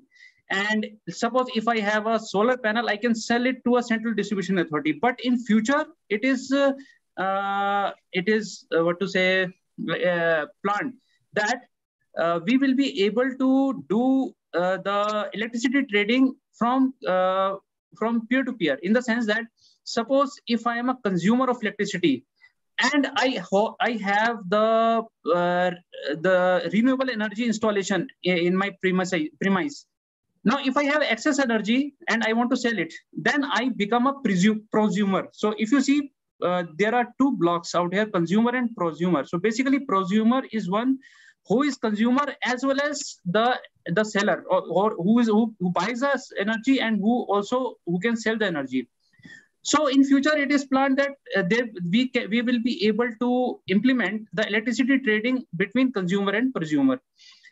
Now, uh, for that, we will use blockchain technology because uh, since this energy trading will be peer-to-peer, so all the peers, they will make a contract among each other uh, based on which the electricity trading will be done. And that smart contract or that contract will be uh, will be uh, uh what to say stored in the blockchain. So what i have done i have designed a sm uh, smart contract for peer-to-peer electricity trading. And i have uh, I have launched it on the blockchain plat platform. For that, I have used a, a Ropsten blockchain, which is a test blockchain platform and then I have implemented the electricity trading. Now here I have used uh, neural network models uh, simply because suppose if I am a prosumer and I want to sell my electricity, right? So I will put a uh, bid, uh, uh, rather, sorry, I will put an auction that I will be able to sell this much of electricity at this time tomorrow uh, and at, at that particular price. So to be precise on my promise that I will be able to suffice or provide this much amount of electricity, I should have a right prediction of how much energy my re renewable energy source can produce. So for that, the presumer uses uh, the wind power prediction neural network based model or solar power based prediction model. Based on the prediction, uh, the presumer puts the auction and uh, and and then he puts the auction on the uh, uh, by by by what to say activating the smart contract. So now this is the algorithm that I have designed uh, for electricity trading. So here what prosumer does, uh, prosumer gets a prediction of solar radiation and wind speed using uh, neural network based prediction model. So first uh, the, the prosumer, he gets the, uh, the, the, the predicted value of the solar radiation and wind speed. And from there, the prosumer is able to estimate uh, the solar power or wind power the prosumer will be able to produce uh, in step two. Now, uh, in step three, the prosumer places a bid uh, uh, uh, and then in step four, the prosumer enters the following parameters in the smart contract in order to auction solar and wind power. Like in, in smart contract, the prosumer will enter the company registration number because you have to be an authenticated uh, uh, company uh, to which the other consumers will be dealing with. Then you have to have the VAT registration number, technology band, means whether it is solar or wind. Then auction type offered. There are different types of auctions like English auction type. There are different types of auction types. So amount of uh, solar or wind power that I'm willing to sell and a minimum bid amount for solar and wind power which I want then time of supply of solar and wind power and bidding window time. So all these parameters, the presumer will be entering in the smart contract. And it will be the prosumer who will be deploying the smart contract as shown in step five. So uh, basically the prosumer will be the option manager. He will be uh, the one who will be controlling the bidding time and, and uh, the closing time of the bid. So in step six, the uh, if you see the bidding uh, bidder after seeing the details offered by the prosumer in step four enters the option in smart contract whether to buy wind power or solar power. If bidder has opted for solar, then he goes to step seven, else go else he goes to step step nine. So after the uh, manager has uh, uh, deployed the smart contract, the bidders are now it is open for the bidders to bid for the uh, electricity power that they want to buy. So, uh, so now in step seven, the bidder enters the bidding amount of solar power. If a, if a bidder wants to buy the solar uh, power, then he will go to step seven and uh, he will buy the solar power by bidding for the uh, solar energy in the smart contract. So now in step eight, uh, if the bid amount of the solar power is greater than uh, what we say than the minimum bid and also more than the highest bid offered by then the bid is accepted by the smart contract else the bid is rejected so the criteria uh, that is uh, uh, what to say coded in the smart contract is that if the bid amount uh, bidded by the bidder is greater than the minimum bid asked by the uh, the presumer then only the bid will be accepted else the bid, will be rejected now, if a presumer is uh, uh, willing to buy wind power, then he will go to step nine. Accordingly, he will bid uh, as he did for solar. And steps uh, 10 says same thing. The bid amount should be uh, greater than the minimum bid amount asked. And in uh, step 11, the auction manager calls function in smart contract to end auction. So basically, this manager of the smart contract, which is the presumer, he has the rights to end the auction. And after the auction ends, uh, in step 12, the winner of the bid is uh, announced. Uh, and in steps 13, if you see if you see those bidders who have lost the bid, they will get their uh, money back in their uh, in their uh, wallet. And in step 14, prosumer supplies the power and wind uh, uh, uh, power and wind power, solar power and wind power to the prosumers who have won the auction. Sir, 10 minutes over, sir. Okay, sorry. I'm again this slide is stuck. Please hold. Again, this slide is stuck. Okay. Now, here I have shown in table, I have uh, created uh, five accounts uh, on, on MetaMask, and uh, out of which one account is of prosumer and other four accounts are of consumers. And uh, in table uh, seven, which is shown is of what to say, the initial balance of all these accounts. In table next table, you see the amount which is bid by different consumers. And in uh, then you see next table, the amount left in the consumer account after they have bidded and uh, this is a demonstration that I have shown, which I have the trading I have uh, done on the Ropsten test network. Here I have uh, you can deployed my smart conclusion, sir. Conclusion. Okay, sir. So finally, these are all. This I have I have shown the demonstration and uh, th this I have uh, launched on Ropsten Test Network and Etherscan. You can uh, see this contract with this contract address which I have shown. So, fi so finally, the conclusion is that uh, I have designed a peer-to-peer -peer electricity trading platform on the uh, Ropsten blockchain uh, Ropsten test network, and this blockchain network is assisted by the neural network-based solar wind power energy prediction. So these are my references. Okay, thank you. Uh, what is the research component in your work?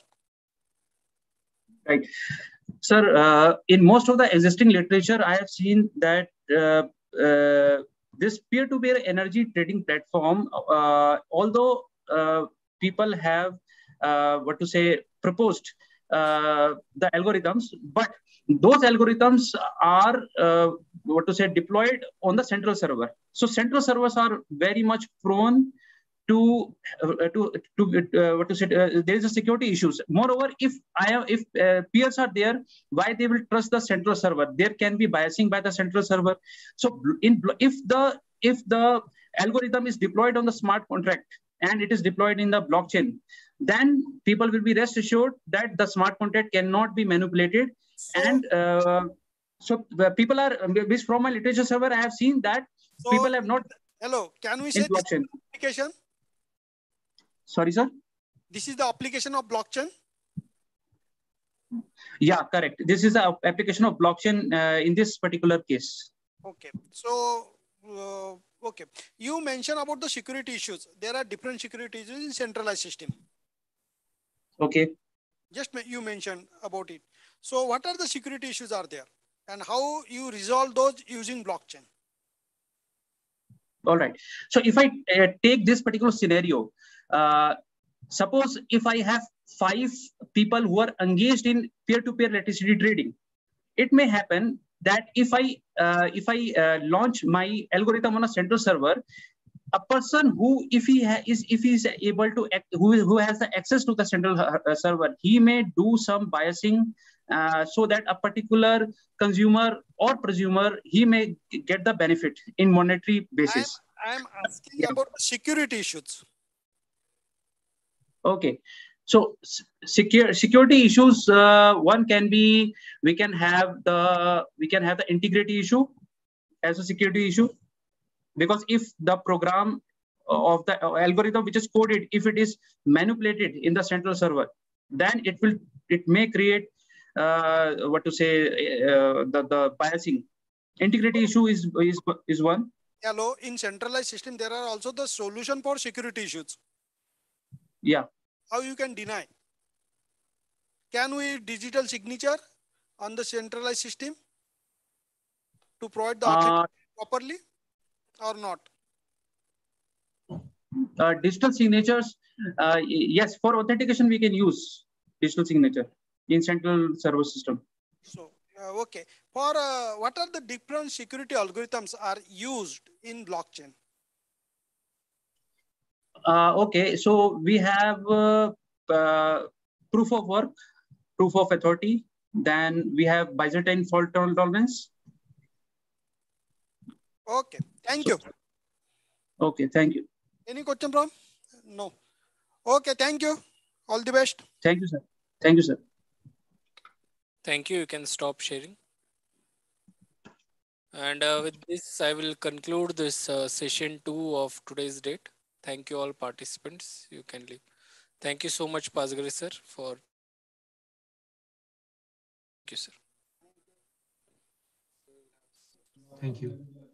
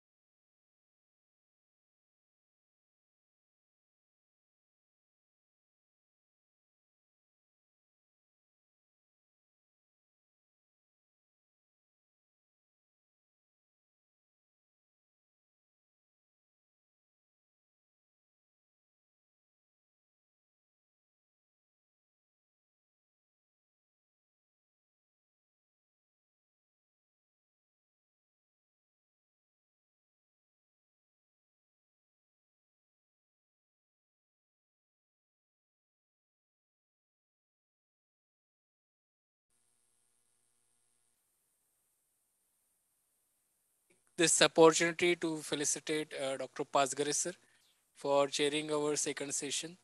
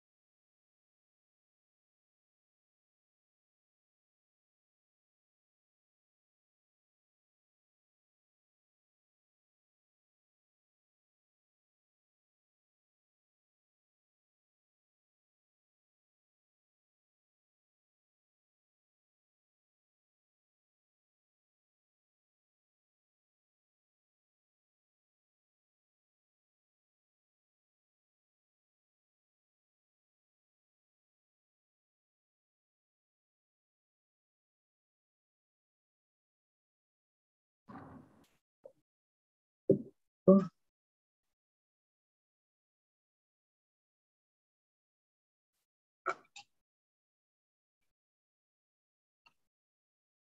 नहीं है minimise कर दो